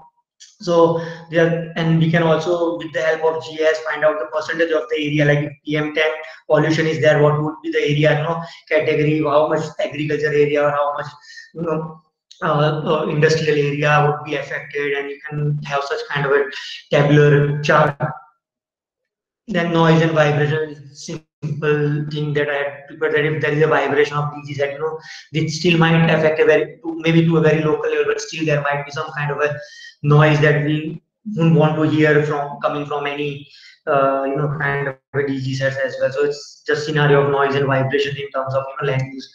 So you know you can it can be more same kind of soil infiltration issues you know during the flash flood or something like that you know there there are some kind of soil which you know the water percolates more you know and if something of that sort happened and if there's a leakage with the industry or some some project that we had you know how much you know pollution will be sprayed in which areas you know, simple soil infiltration similarly earthquake these not uh, these are taken from IRIS earth browser uh, uh, they have all the you know uh, data related to it and then uh, this, this is not a real map, right? This is just a representation. Any of them are not real. But simple, there are fault line uh, and earth epicenters that you can even show on a land use and, uh, you know, so even geologists uh, if, can be useful not just for geotechnical work, but such kind of a, uh, you know, representation as well that if there is any close fault line, you know, uh, there is long time back, I remember one case of Tehri Dam, you know, where you know the fault line was ignored or maybe uh, it was not really considered to an extent it should have been, you know, and what happened, you know, it flushed out um, many villages, you know, when the dam broke because of, it was falling on a fault line or you know some, something related to that that was there. So even such geological maps are very important uh, uh, just to have a, a, clear understanding that you know there is no uh, associated hazard terms of seismicity um, you know close to our project. And if there is, we have to build our project in a in that fashion you know structural engineers can design an earthquake resistant you know buildings nowadays. So i mean if you have a knowledge about it you can make changes uh, in your design. So that's the idea of you know representing it over here. And it's just a teamwork. So i just wanted to present that it's not one person's job. Even a land use map when we talk about we are not talk, talking about one person's job. You know you have to involve the whole team you know. So it's just some these things that I have mentioned. You know, if there are emissions of the dust, air, air pollution experts are required, harmful trace elements, you know, they are present in water, surface water, hydrochemists experts are required, underground water contaminations are there, you know, hydrogeological experts are there, you know, soil quality, fertility, uh, you know, any degradation of soils that's going to happen from our project. You know, you have soil experts, degradation of forest, if forest cut or tree cuts is going to happen because of the project, you know, and we have to have, you know, uh, uh, this uh, ecologist, uh, you know, expert construction was prior to geotechnical, geological, and soil experts. You know, loss of land use or beauty of the surrounding aesthetics. You know, basically, then uh, you all are there. You know, to help land use expert and vice versa. You know, so for the aesthetics of it, you know, and the design, proper design of it, and then relocation if there is to happen, then you have to have a you know socio-economic exposure and hazard for the people. You know, health hazards it still you know doesn't end over here there there could be many more you know uh, so who can help you out you know uh, in this thing so it's a teamwork uh, just this just uh, i got this slide for from somewhere uh, which mentions you know what are the direct and indirect and ultimate impacts that can be because of uh, some of the other domain you know. So it's just for you to take into consideration. We'll not discuss over it. Is genetic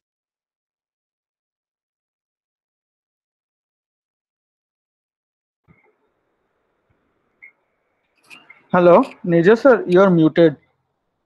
Just uh,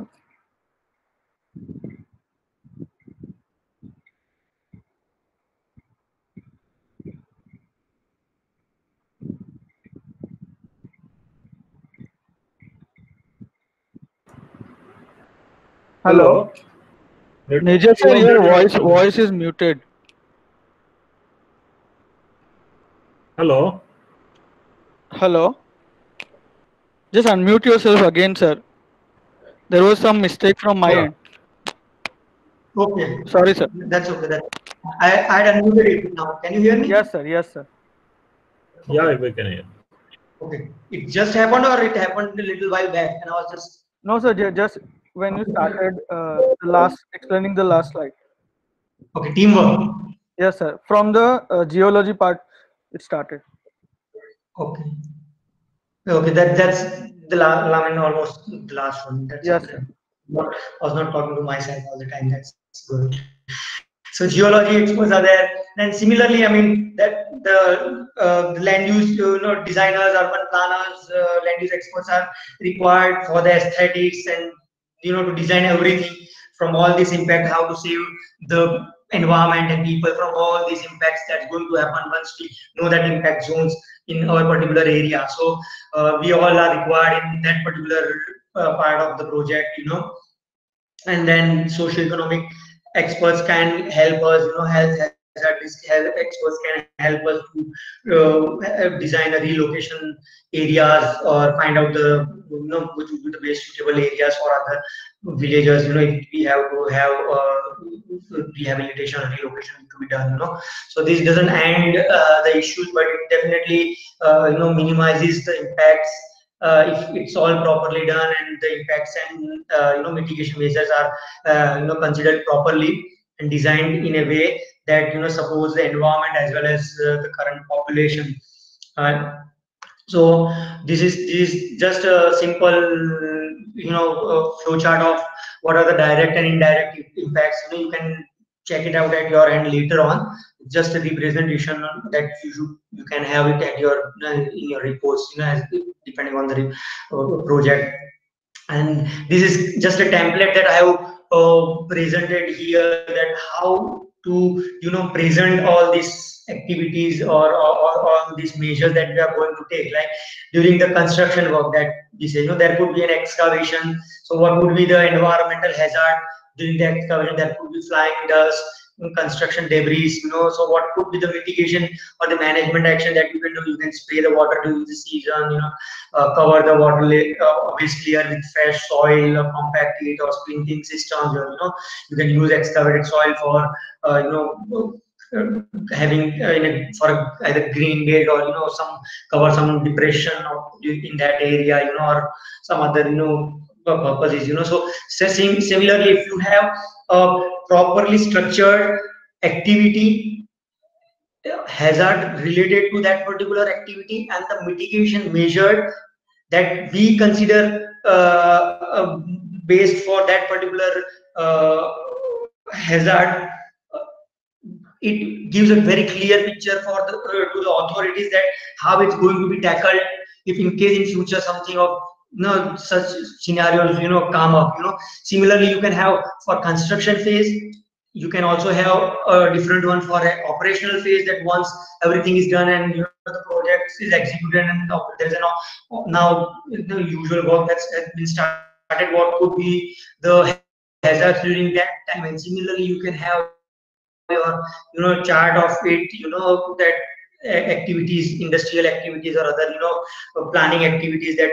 we do uh, hazards related to it and the mitigation measures you know that can be considered for tackling such kind of a hazard situation you can have a very good template or uh, you know project to project basis you can redesign it. But this would be a very good way to you know give a clear idea and for you yourself and your team members to understand that what measures are to be taken in such kind of a situation. So this would be a very good template uh, to put it you know.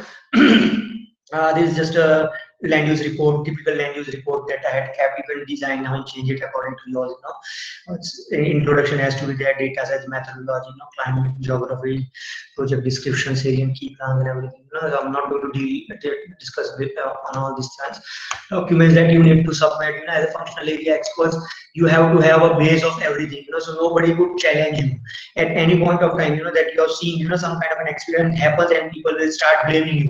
You would be the first person uh, to be blamed you know that you have not taken care of your uh, you know designs or uh, uh, impact and mitigation measures or the observations were not correct you know something of that so you have to have all these things properly documented and based on which you have to uh, come up with any uh, kind of solutions that you want to give right? So at least we have a backup you know we are not just uh, assuming anything and you know doing it because someone has done it uh, uh, you know in that area. But we have to have a like proper field observation. We have to have a field notebook digital or you know otherwise you know the traditional books you know uh, that you have to have everything noted right then you have to have a report and impact mitigation chart that we just discussed you have to have all the supporting proofs uh, with geotag photographs, you know, other information that you have collected from the people, uh, you know, and you have to have a, like it's standard, right? SOP that you have to follow. You have to have your own SOP or company's SOP that you need to follow. You know? So at least you have this documentation along with the report will save you while actually something of this sort or while at least someone wants to you know cross question you that why was the decision taken you know or why have you considered so these all things are there now I've just kept some few there are many actually but I've just kept one page with X related to the land use you know with respect to impact assessment. You know you can just go through it there could be many more so you can just take a note of it uh, this is just uh, just just for the point of discussions you know uh, that, uh, that what is need of time. You know we have to have when we talk about so many things so we require so much of a data we require so much of support from so much so many experts you know. How to deal with all these things where to collect the data and it's it's a big um, challenge you know. So if we have an information transparency or a sharing of data policy you know where all the departments can share the data to public or to some kind of a project you know it would be very so it is there and uh, you know it has been is being shared you know but most of the department doesn't find the data you know so if it's all digital and if it's all gis based you know at least that particular uh, you know work is saved you know. Saved.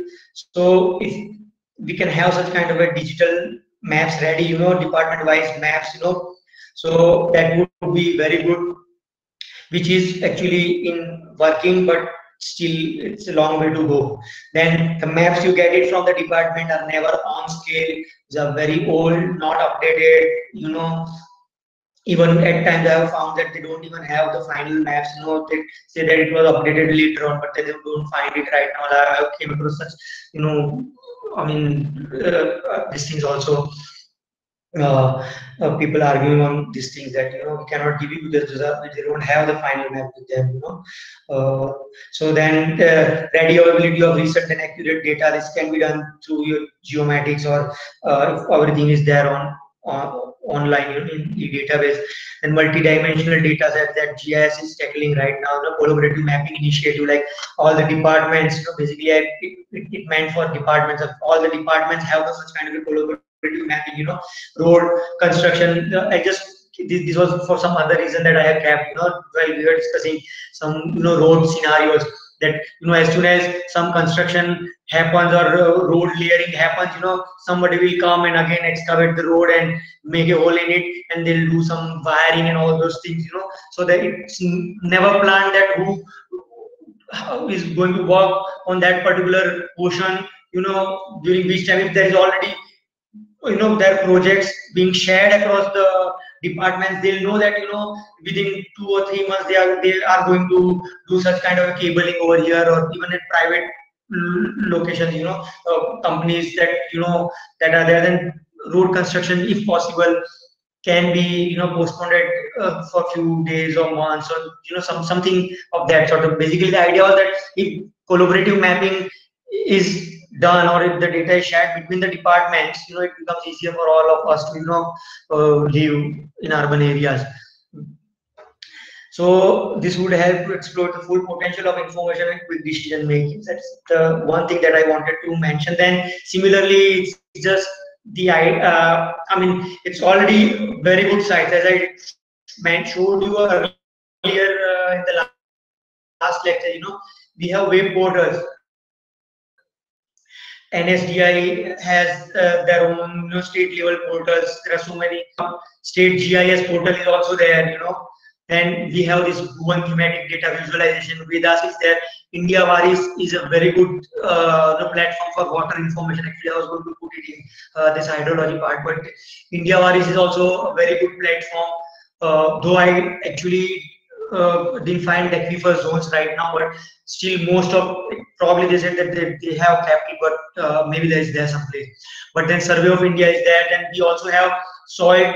Now I just came to know about this thing few years back only, right? Soil and land use uh, Survey of India is also there. That's someplace in, if we talk about it, Ahmedabad area, somewhere around Paldi area, you know. So I came to know that there is just not you know Survey of India, but uh, a geological survey of India. There is also a land use survey of India. A few years back, I came to know they actually prepare land use maps. So if just somebody wants to refer to soil or land use maps, they don't want to prepare by themselves. Probably they might get uh, uh, from this department, uh, you know, if approached, they are very helpful people. Similarly, NASA has uh, a socio-economic data and application center at village level geospatial data for uh, I see I've seen for India at least right? And we have census book and there is a DILR, uh, you know, land records that are there. So all those portals are there, you know, but it took me few years of, to, you know, find all these things, you know, over a period of time and you know, uh, to, you know, work on, uh, otherwise mostly I had to run to all these departments. Now, if we can have an integration between all these, uh, you know, portals like Vedas is a very good program. Bhuvan also has a similar kind of a visualization platform, right? But it may have may not have uh, online uh, analysis tool that Vedas has, you know. So either this can be integrated into one thing, or maybe water portal can be integrated. Of course, it will again require a huge amount of uh, or a very heavy servers to handle all these things. But at least if a link could be provided, you know, of all the GIS maps or related portals, you know, or any government project related portals, you know, what's going on in one particular platform, then it becomes very easy for us to find it out instead of you know just browsing and you know investing so much of time in even searching the online data. Now you have at least so much of uh, few of rather not so much of few of the uh, portals that I had found out there would be many, many good ones which I might have missed, or you might you might be knowing, and I might not be knowing as a uh, know, a planners. But if it's all integrated, it would be very helpful.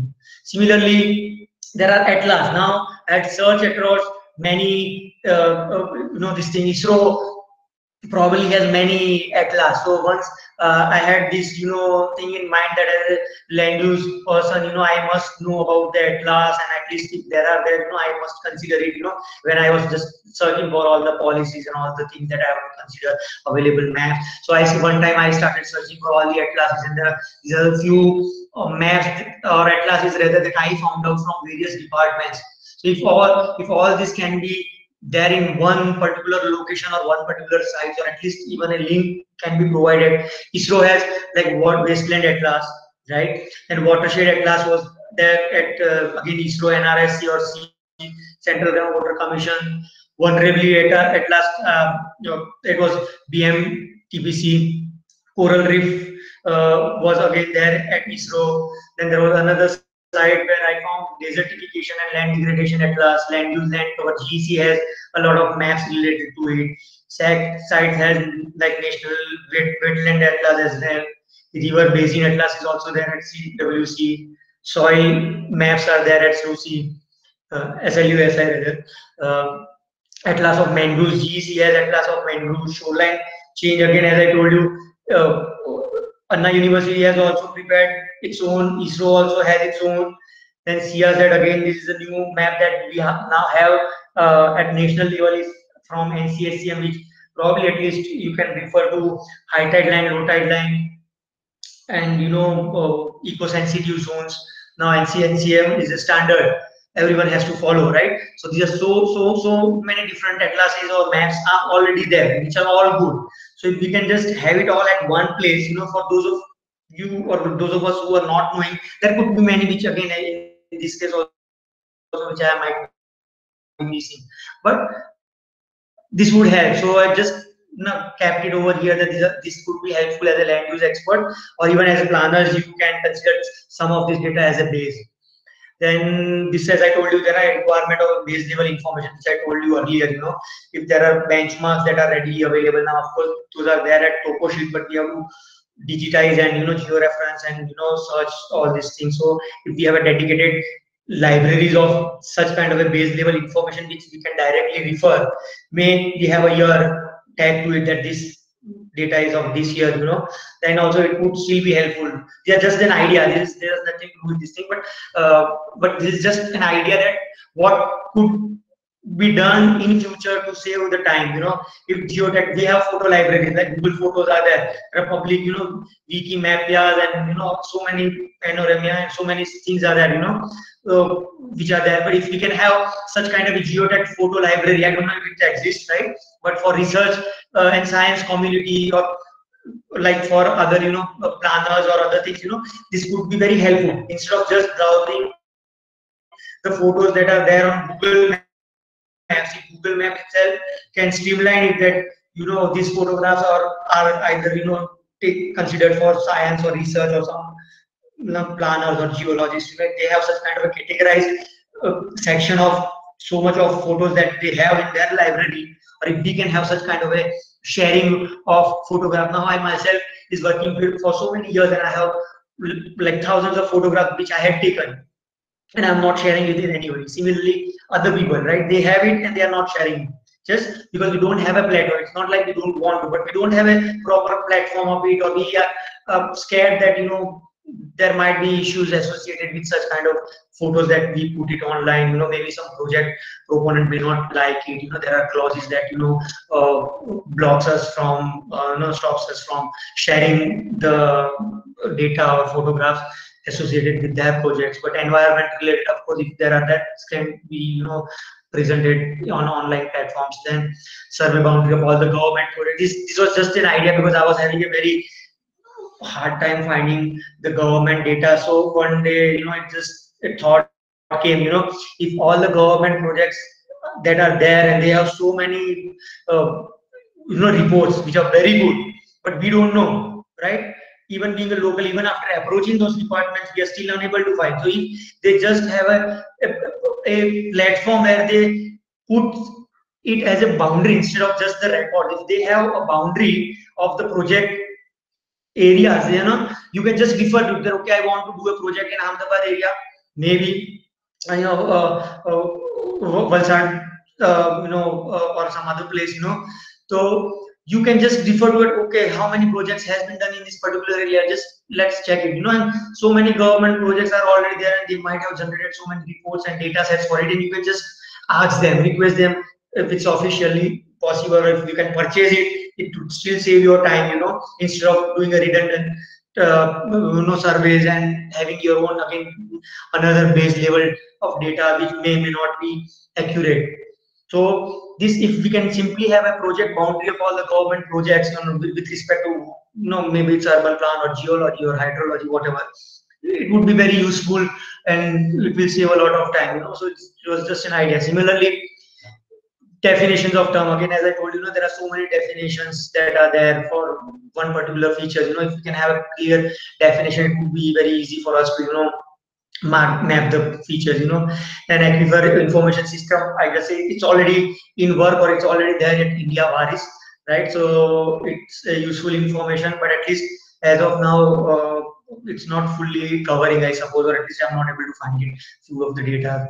Base data availability from authentic this this i was referring to base data uh, you know issues that we all face you know. If there is one authentic government site to consider a base uh, of any project you know. Maybe it's 2020 starting from now or 2018 or 50 that this is the year we have collected the data or this is the year this, this has to be considered as the base uh, of any kind of a change that has been happened you know. You can of course relate it with the last year that you know okay from 2015 to 2020 this is the change but all this has already been you know 2019 all such projects has been approved and we are in line or in sync with such kind of you know uh, projects and we are no different and we should also be allowed. Of course you can present it that way but if there is a base of this thing we can at least have some kind of a better way of assessing the impact that has happened on the environment because of the you know urbanizations or you know industrializations and all. This was just an idea and again now actually we come to that drone that we left out with you know last time. That ortho rectified images i was talking about you know. Satellite image itself you know has a issue associated with ortho rectification and which gives a lot of error if not properly handled. You know now when we have a drone so drone is an ultra high resolution. I mean you can have buildings or people marked you know i mean to small plants and you know anything to, uh, at any scale you know. So again it won't all be at nadir uh, or a perfectly orth orthogonal uh, you know, projection.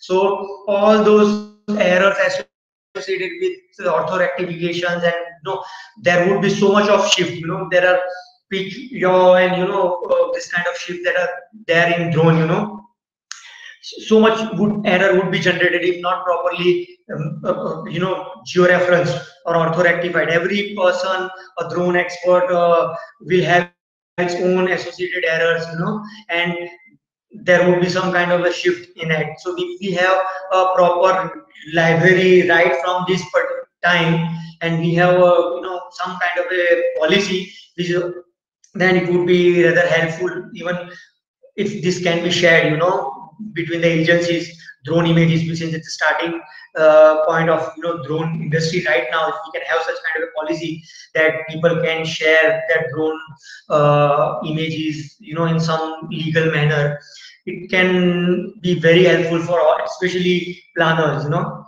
because you require uh, drone images because uh, it's kind of an well, it's not all weather but you can say uh, at any point of time you can fly your own drone and record it. Today it's rainy you know that to, to tomorrow it's a sunny day. You can go and fly your own drone uh, within few hours and you can still capture uh, a good image high resolution image for your planning. Satellite image no matter what we say has its own limitation. You know it's return time.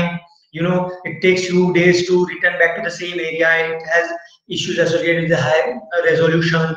Even though there are all weather satellite images, but those are not all high resolution images, you know. So those all things can be tackled very easily during uh, uh, with the, the, drone. So we have a very good platform designed by the government, right? Digital Sky is a platform tackled by and uh, created by DGCA, right? drone survey of India, survey, drone survey, sorry, drone survey in India.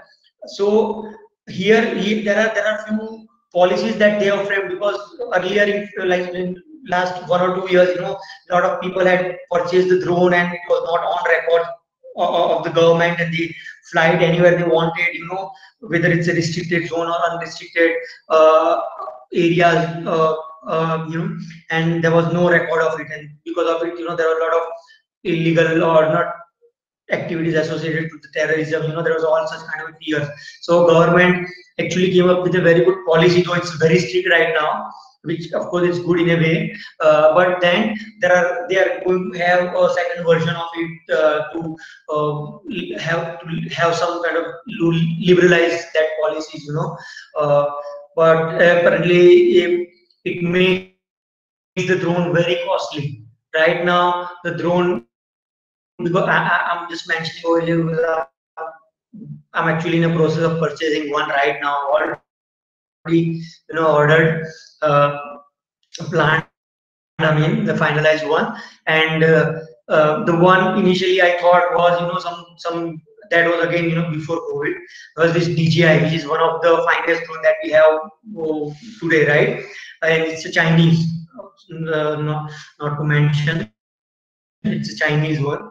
Uh, but then they, it cost again, so it's cheap as well, right? Twenty five thousand 30,000, 50,000, 150 lakhs, 1.5 lakhs or something like that, right? At the most.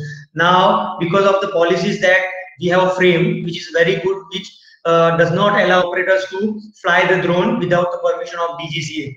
So uh, there are some modules that you have to fit in your drone, which is mandatory. And if you are not registered, it's illegal and it can you know attract any big you know issues. If, if you are in coastal areas or border, you know, get hold of you uh, you know, so that's something which you have to consider while flying the drone in India, at least for now.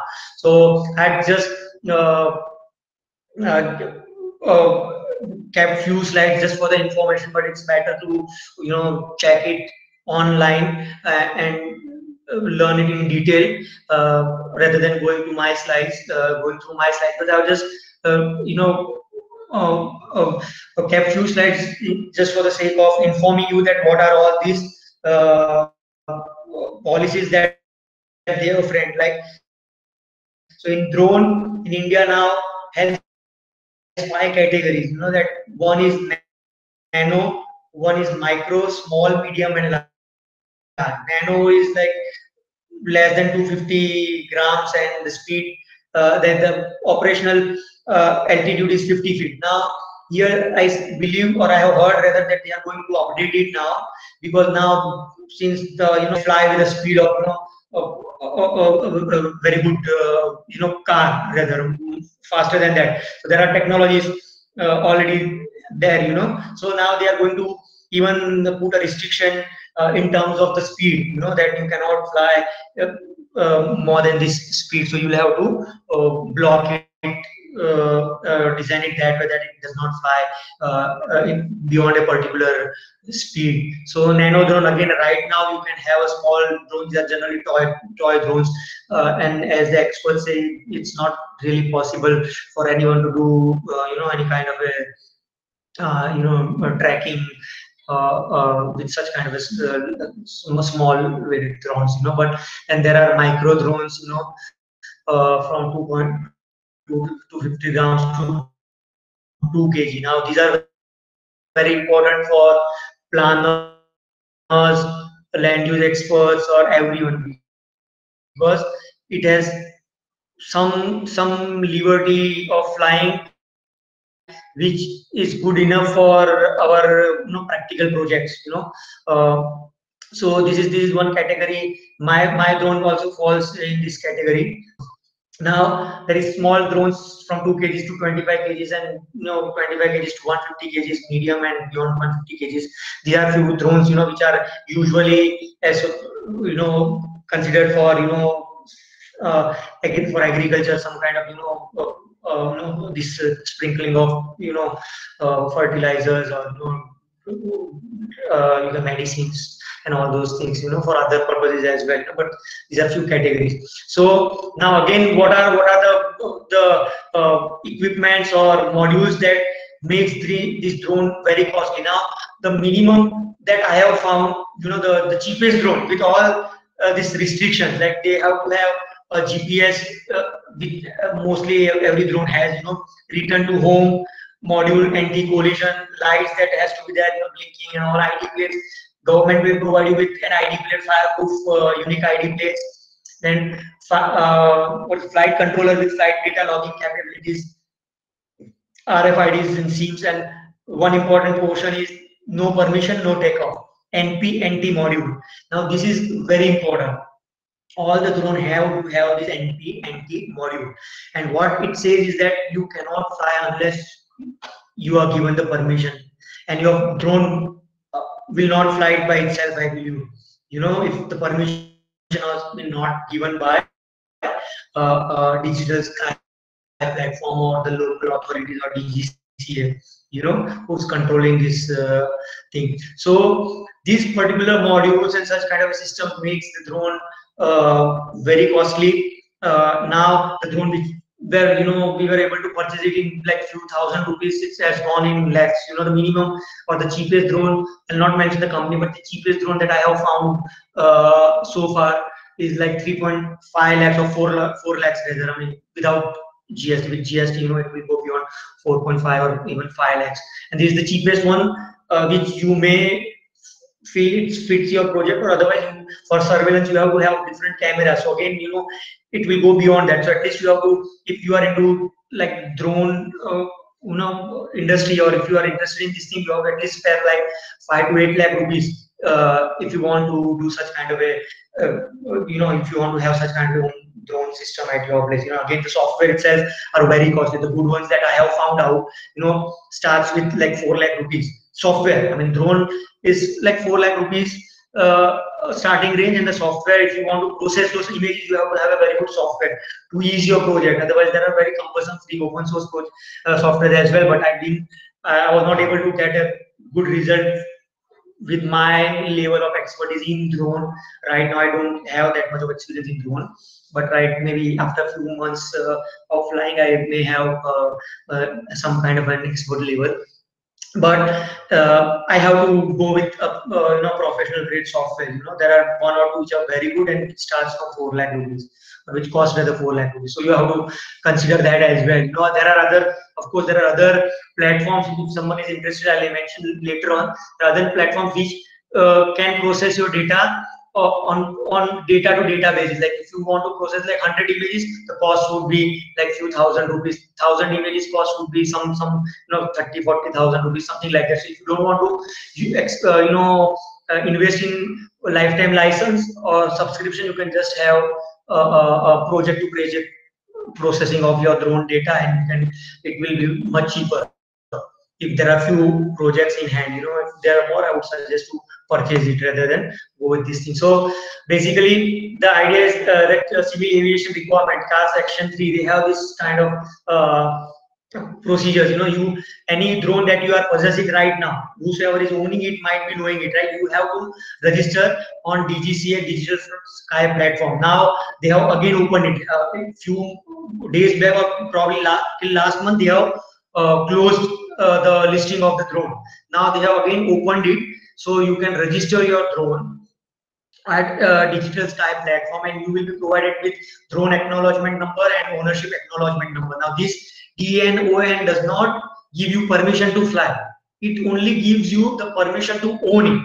Owning it without DN and ON is illegal. And uh, simply putting it at your house or office will also be illegal. So if anyone catches you, then still you will have to face legal uh, problems. But with this ownership, you know, at least you have informed government that you have this drone and this model number from so and so date. So at least uh, you are not hidden anything because this drone right now can be misused for many purposes. So it's better to declare if anyone has any kind of a drone.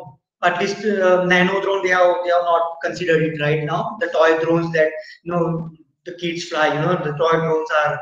Uh, uh, kept aside uh, with all these things but uh, it's still better you check it on it for all the details uh, in their web websites you know then basically uh, now once that is the new if you want to have a, a legal flying license you have to apply for unique identification number uin which if you have a, a drone you have to mention the drone model and the manufacturing agent you know i'll just uh, uh, clipped some few portions of it uh, put it on the slide. Within two days they they, they say that they'll clear uin procedures and then after that uh, these are again nano uh, not considered.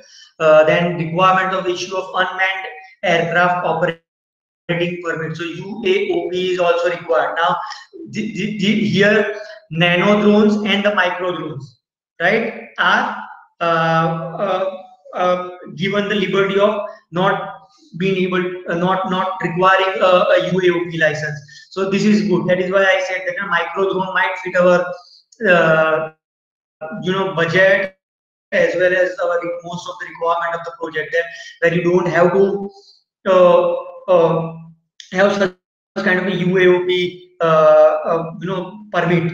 Then you the validity is for five years and you have to have again nano uh, not this is not applicable for nano and micro category. So that is 2 kg uh, till 2 kg you know. So you don't even have to have a pilot training. Otherwise the problem is and especially with the covid situation that we are having we cannot go to those training centers it's not possible. They, they probably might have go such kind of a training as of now. But uh, still it's still risky to go there. So if you want to fly any drone beyond 2 kgs you will have to have a pilot license drone pilot pilot license you know. And that you have to uh, go to their uh, authorized training centers. Probably they take they have five days of training and then you'll have to apply for uh, this flying uh, uh, this uh, uh, training certificate. So and if you have purchased micro drone or nano drone drone less than 2 kg you are not not uh, required to have a pilot license. But you of course require a training.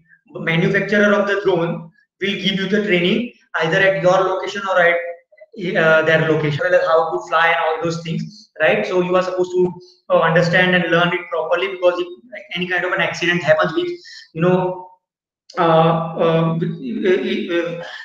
which creates a problem for some some other person you will be answerable.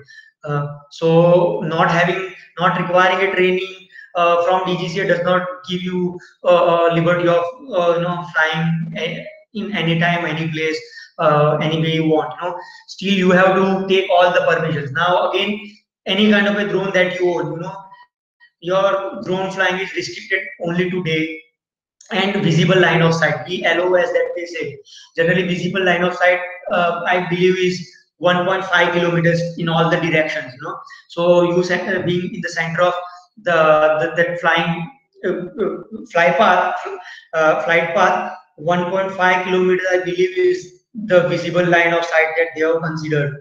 So you cannot fly beyond uh, 1 1.5 kilometers. So that is something that you have to consider if you want to fly the drone. And there are uh, conditions meteorological conditions you know that there are they have some restrictions related to the uh, you know wind velocity and all those things. So if you have such some kind of a uh, uh, you know environment or whether you cannot or should not fly. So there are policies that are there. You can find it out at their side you know. So these are all different things that you have to consider before uh, you know planning a drone flight. Uh, and as a planner i suppose it's very good uh, uh, you can say a machine for remote sensing that we have it nowadays in at, at least our in our time. You know that earlier it was very so difficult to plan. Now we have so much of high resolution image with us. So these are all the, these are the list of uh, I have also kept a list of approved drone where from where you can purchase your drone. You know, uh, so this these are, few good companies or these are few listed companies at uh, DGCA or Digital Sky platforms. I have just snapshot taken a snapshot from there and you know kept over here. There may be many, I don't know, but it's just a snapshot. You can search it at uh, DGCA website for more if there are any, you know. So there are few good companies uh, over here, uh, uh, uh, which might they and they give provide a very good support. Any of the companies that you have to they provide very good information and support. You know, I learned these things from then, then only by you know in process of purchasing the drone. They inform me about all these things. You know what I'm mentioning. Those this topic. Thank you. Hello. Uh, thank you, Dr. Lakhia. Uh, I think so. Uh, it was quite engrossing. The whole uh, the webinar uh, went very well because there were participants. Uh, slowly they collapsed, but uh, whosoever was left uh, has uh, taken the full uh, advantage of your knowledge. I will uh, uh, give a vote of thanks. Or do you have anything to say, sir? Uh, Sir, it I'll was really it you. interesting. Very, really interesting. I Yes, hope sir. the participants have benefited from it. Thank you, sir. Number may be like that, is not a thing. but the, this, will, this will interest the, to the people only those who are interested in this topic. So that is not an issue. Yes, Anyway, definitely. thank you, sir. Yeah. So we'll be waiting for you on 22nd also. Yeah. So, that will be more, uh, I think so. Okay. I think that is more uh, topic. More people will be there.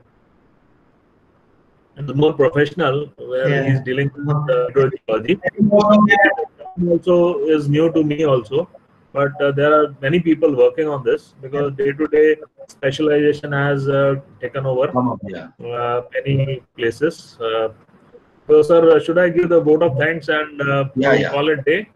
Yeah. So, I think प्रगनय sir को कुछ बोलना है okay, okay. Yes, sir. Sir Pragnesh, sir. Unmute करो पहले sir नहीं नहीं पार्थ हिंगू को कोई क्वेश्चन था इसलिए before we conclude Parth from Australia I think he is in Australia Uh, उसको चैट में मैंने ब- पूछा तो उसको यही या या so Uh, let he said him yes, sir.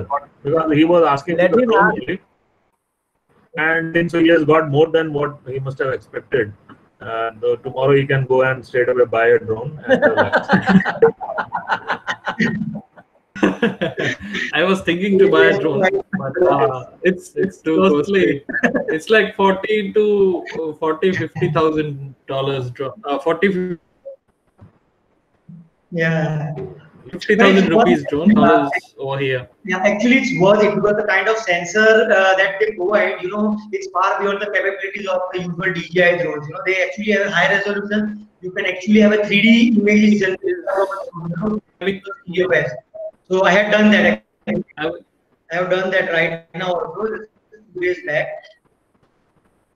I had generated a 3D model of a city, right? Uh, but since it's not legal to share those, you know, data sets, I don't even know uh, whether it was legal in that area to fly it, but it was demo that I had taken uh, uh, with some, so I had actually processed, you know, it creates a fantastic. we can fly Mavic Mini over here. Mavic Mini. Yeah, man, maybe that is Mavic that. Mini. It's like uh, But it's see, when when you Yeah. yeah, Dr. Nirzar, uh, uh, Parth Hingu is our uh, alumni student Yeah. who is uh, right now studying his master's in Australia. So he's uh, today on the platform from Australia. So that of the uh, achievement what uh, our college has gained that even the students are in touch from faraway lands. So he's uh, since the beginning and not left. Many of us, uh, I've seen that many of us have left, but uh, and it has paid to Bharat also. The information uh, Dr. Nirzar Lakhia has uh, given.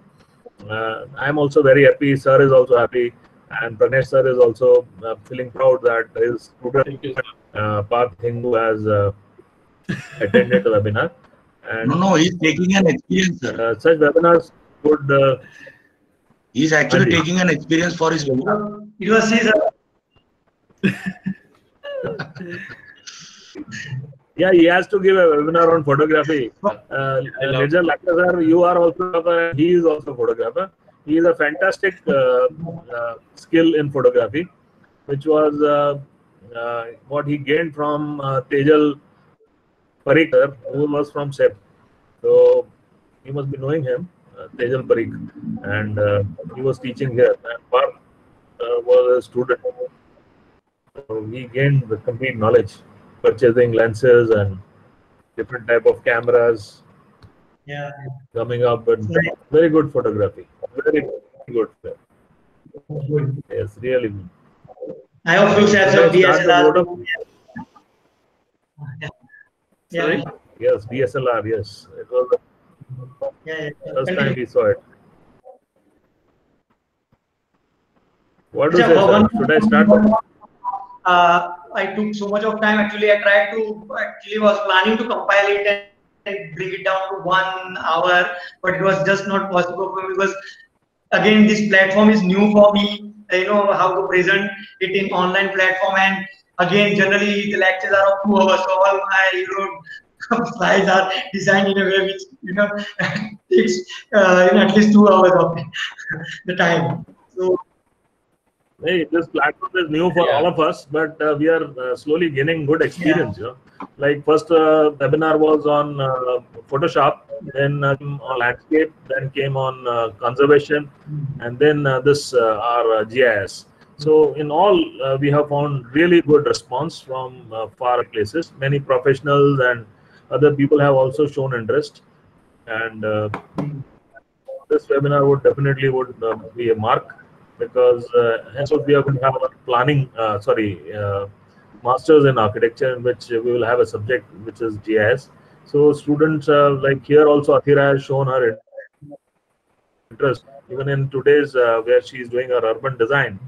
She thinks that she will be able to use, but I know that this is very difficult. GIS is uh, real difficult, takes ages to get used to it. I don't know whether how she would be able to have that in her studio. I would advise her to continue her studio even uh, without looking towards GIS. Otherwise, uh, she will waste time. You know? That is what I'm saying on webinar we, itself. we have just introduced her So- with the global mapper software. So they will be doing Ah, some contour analysis and easy, to basic, that level, it is basic fine. line. Otherwise, it is like uh, doing a microsurgery uh, to that level. You know, somebody is a surgeon and he is doing uh, he is ophthalmologist and he is doing a microsurgery. So a student can't handle this platform Yes, of GIS. So if he gains the knowledge that tomorrow, whenever he has enough time and has a very dedicated, uh, uh, uh, limited work in which that this will be very useful especially in masters and masters courses and beyond that in phd and uh, so uh, i would uh, thank everybody uh, participating here. Our principals are also. I would thank our uh, chairman Sri Bhaskarbhai patel uh, to give us permission and platform like google classroom and google meet sorry. And i would thank our trustees of nest that is New uh, School Trust uh, to uh, again provide such a fantastic opportunity to let people from far far also to interact on this webinar platform. I'll thank our team consisting of uh, uh, Dhab Adawala, Garbet Nair, and other uh, students who have uh, contributed in creating posters and uh, sending the links to all the groups of students and to other professionals. Uh, uh, I would like to uh, thank other uh, administrative staffs also in our college. With this, I will give a, a final end to our webinar and uh, hope uh, all of us will meet on 22nd with the new, uh, more interesting and informative webinar, Dr. Uh, uh, Nirzar Lakhia. Thank you, sir. Thank you, Nirzar Lakhia, sir. Thank you, sir. Thank you, sir. Good night. Good night. Thank you. Thank night, you, sir. everybody, and the participant who had such Good patience to um, sit till the end. Thank you very much. Thank you, everybody. Thank you. Bye. Bye, sir. Bye. Bye. Bye. Bye, Prakash sir. See you. See you. See you.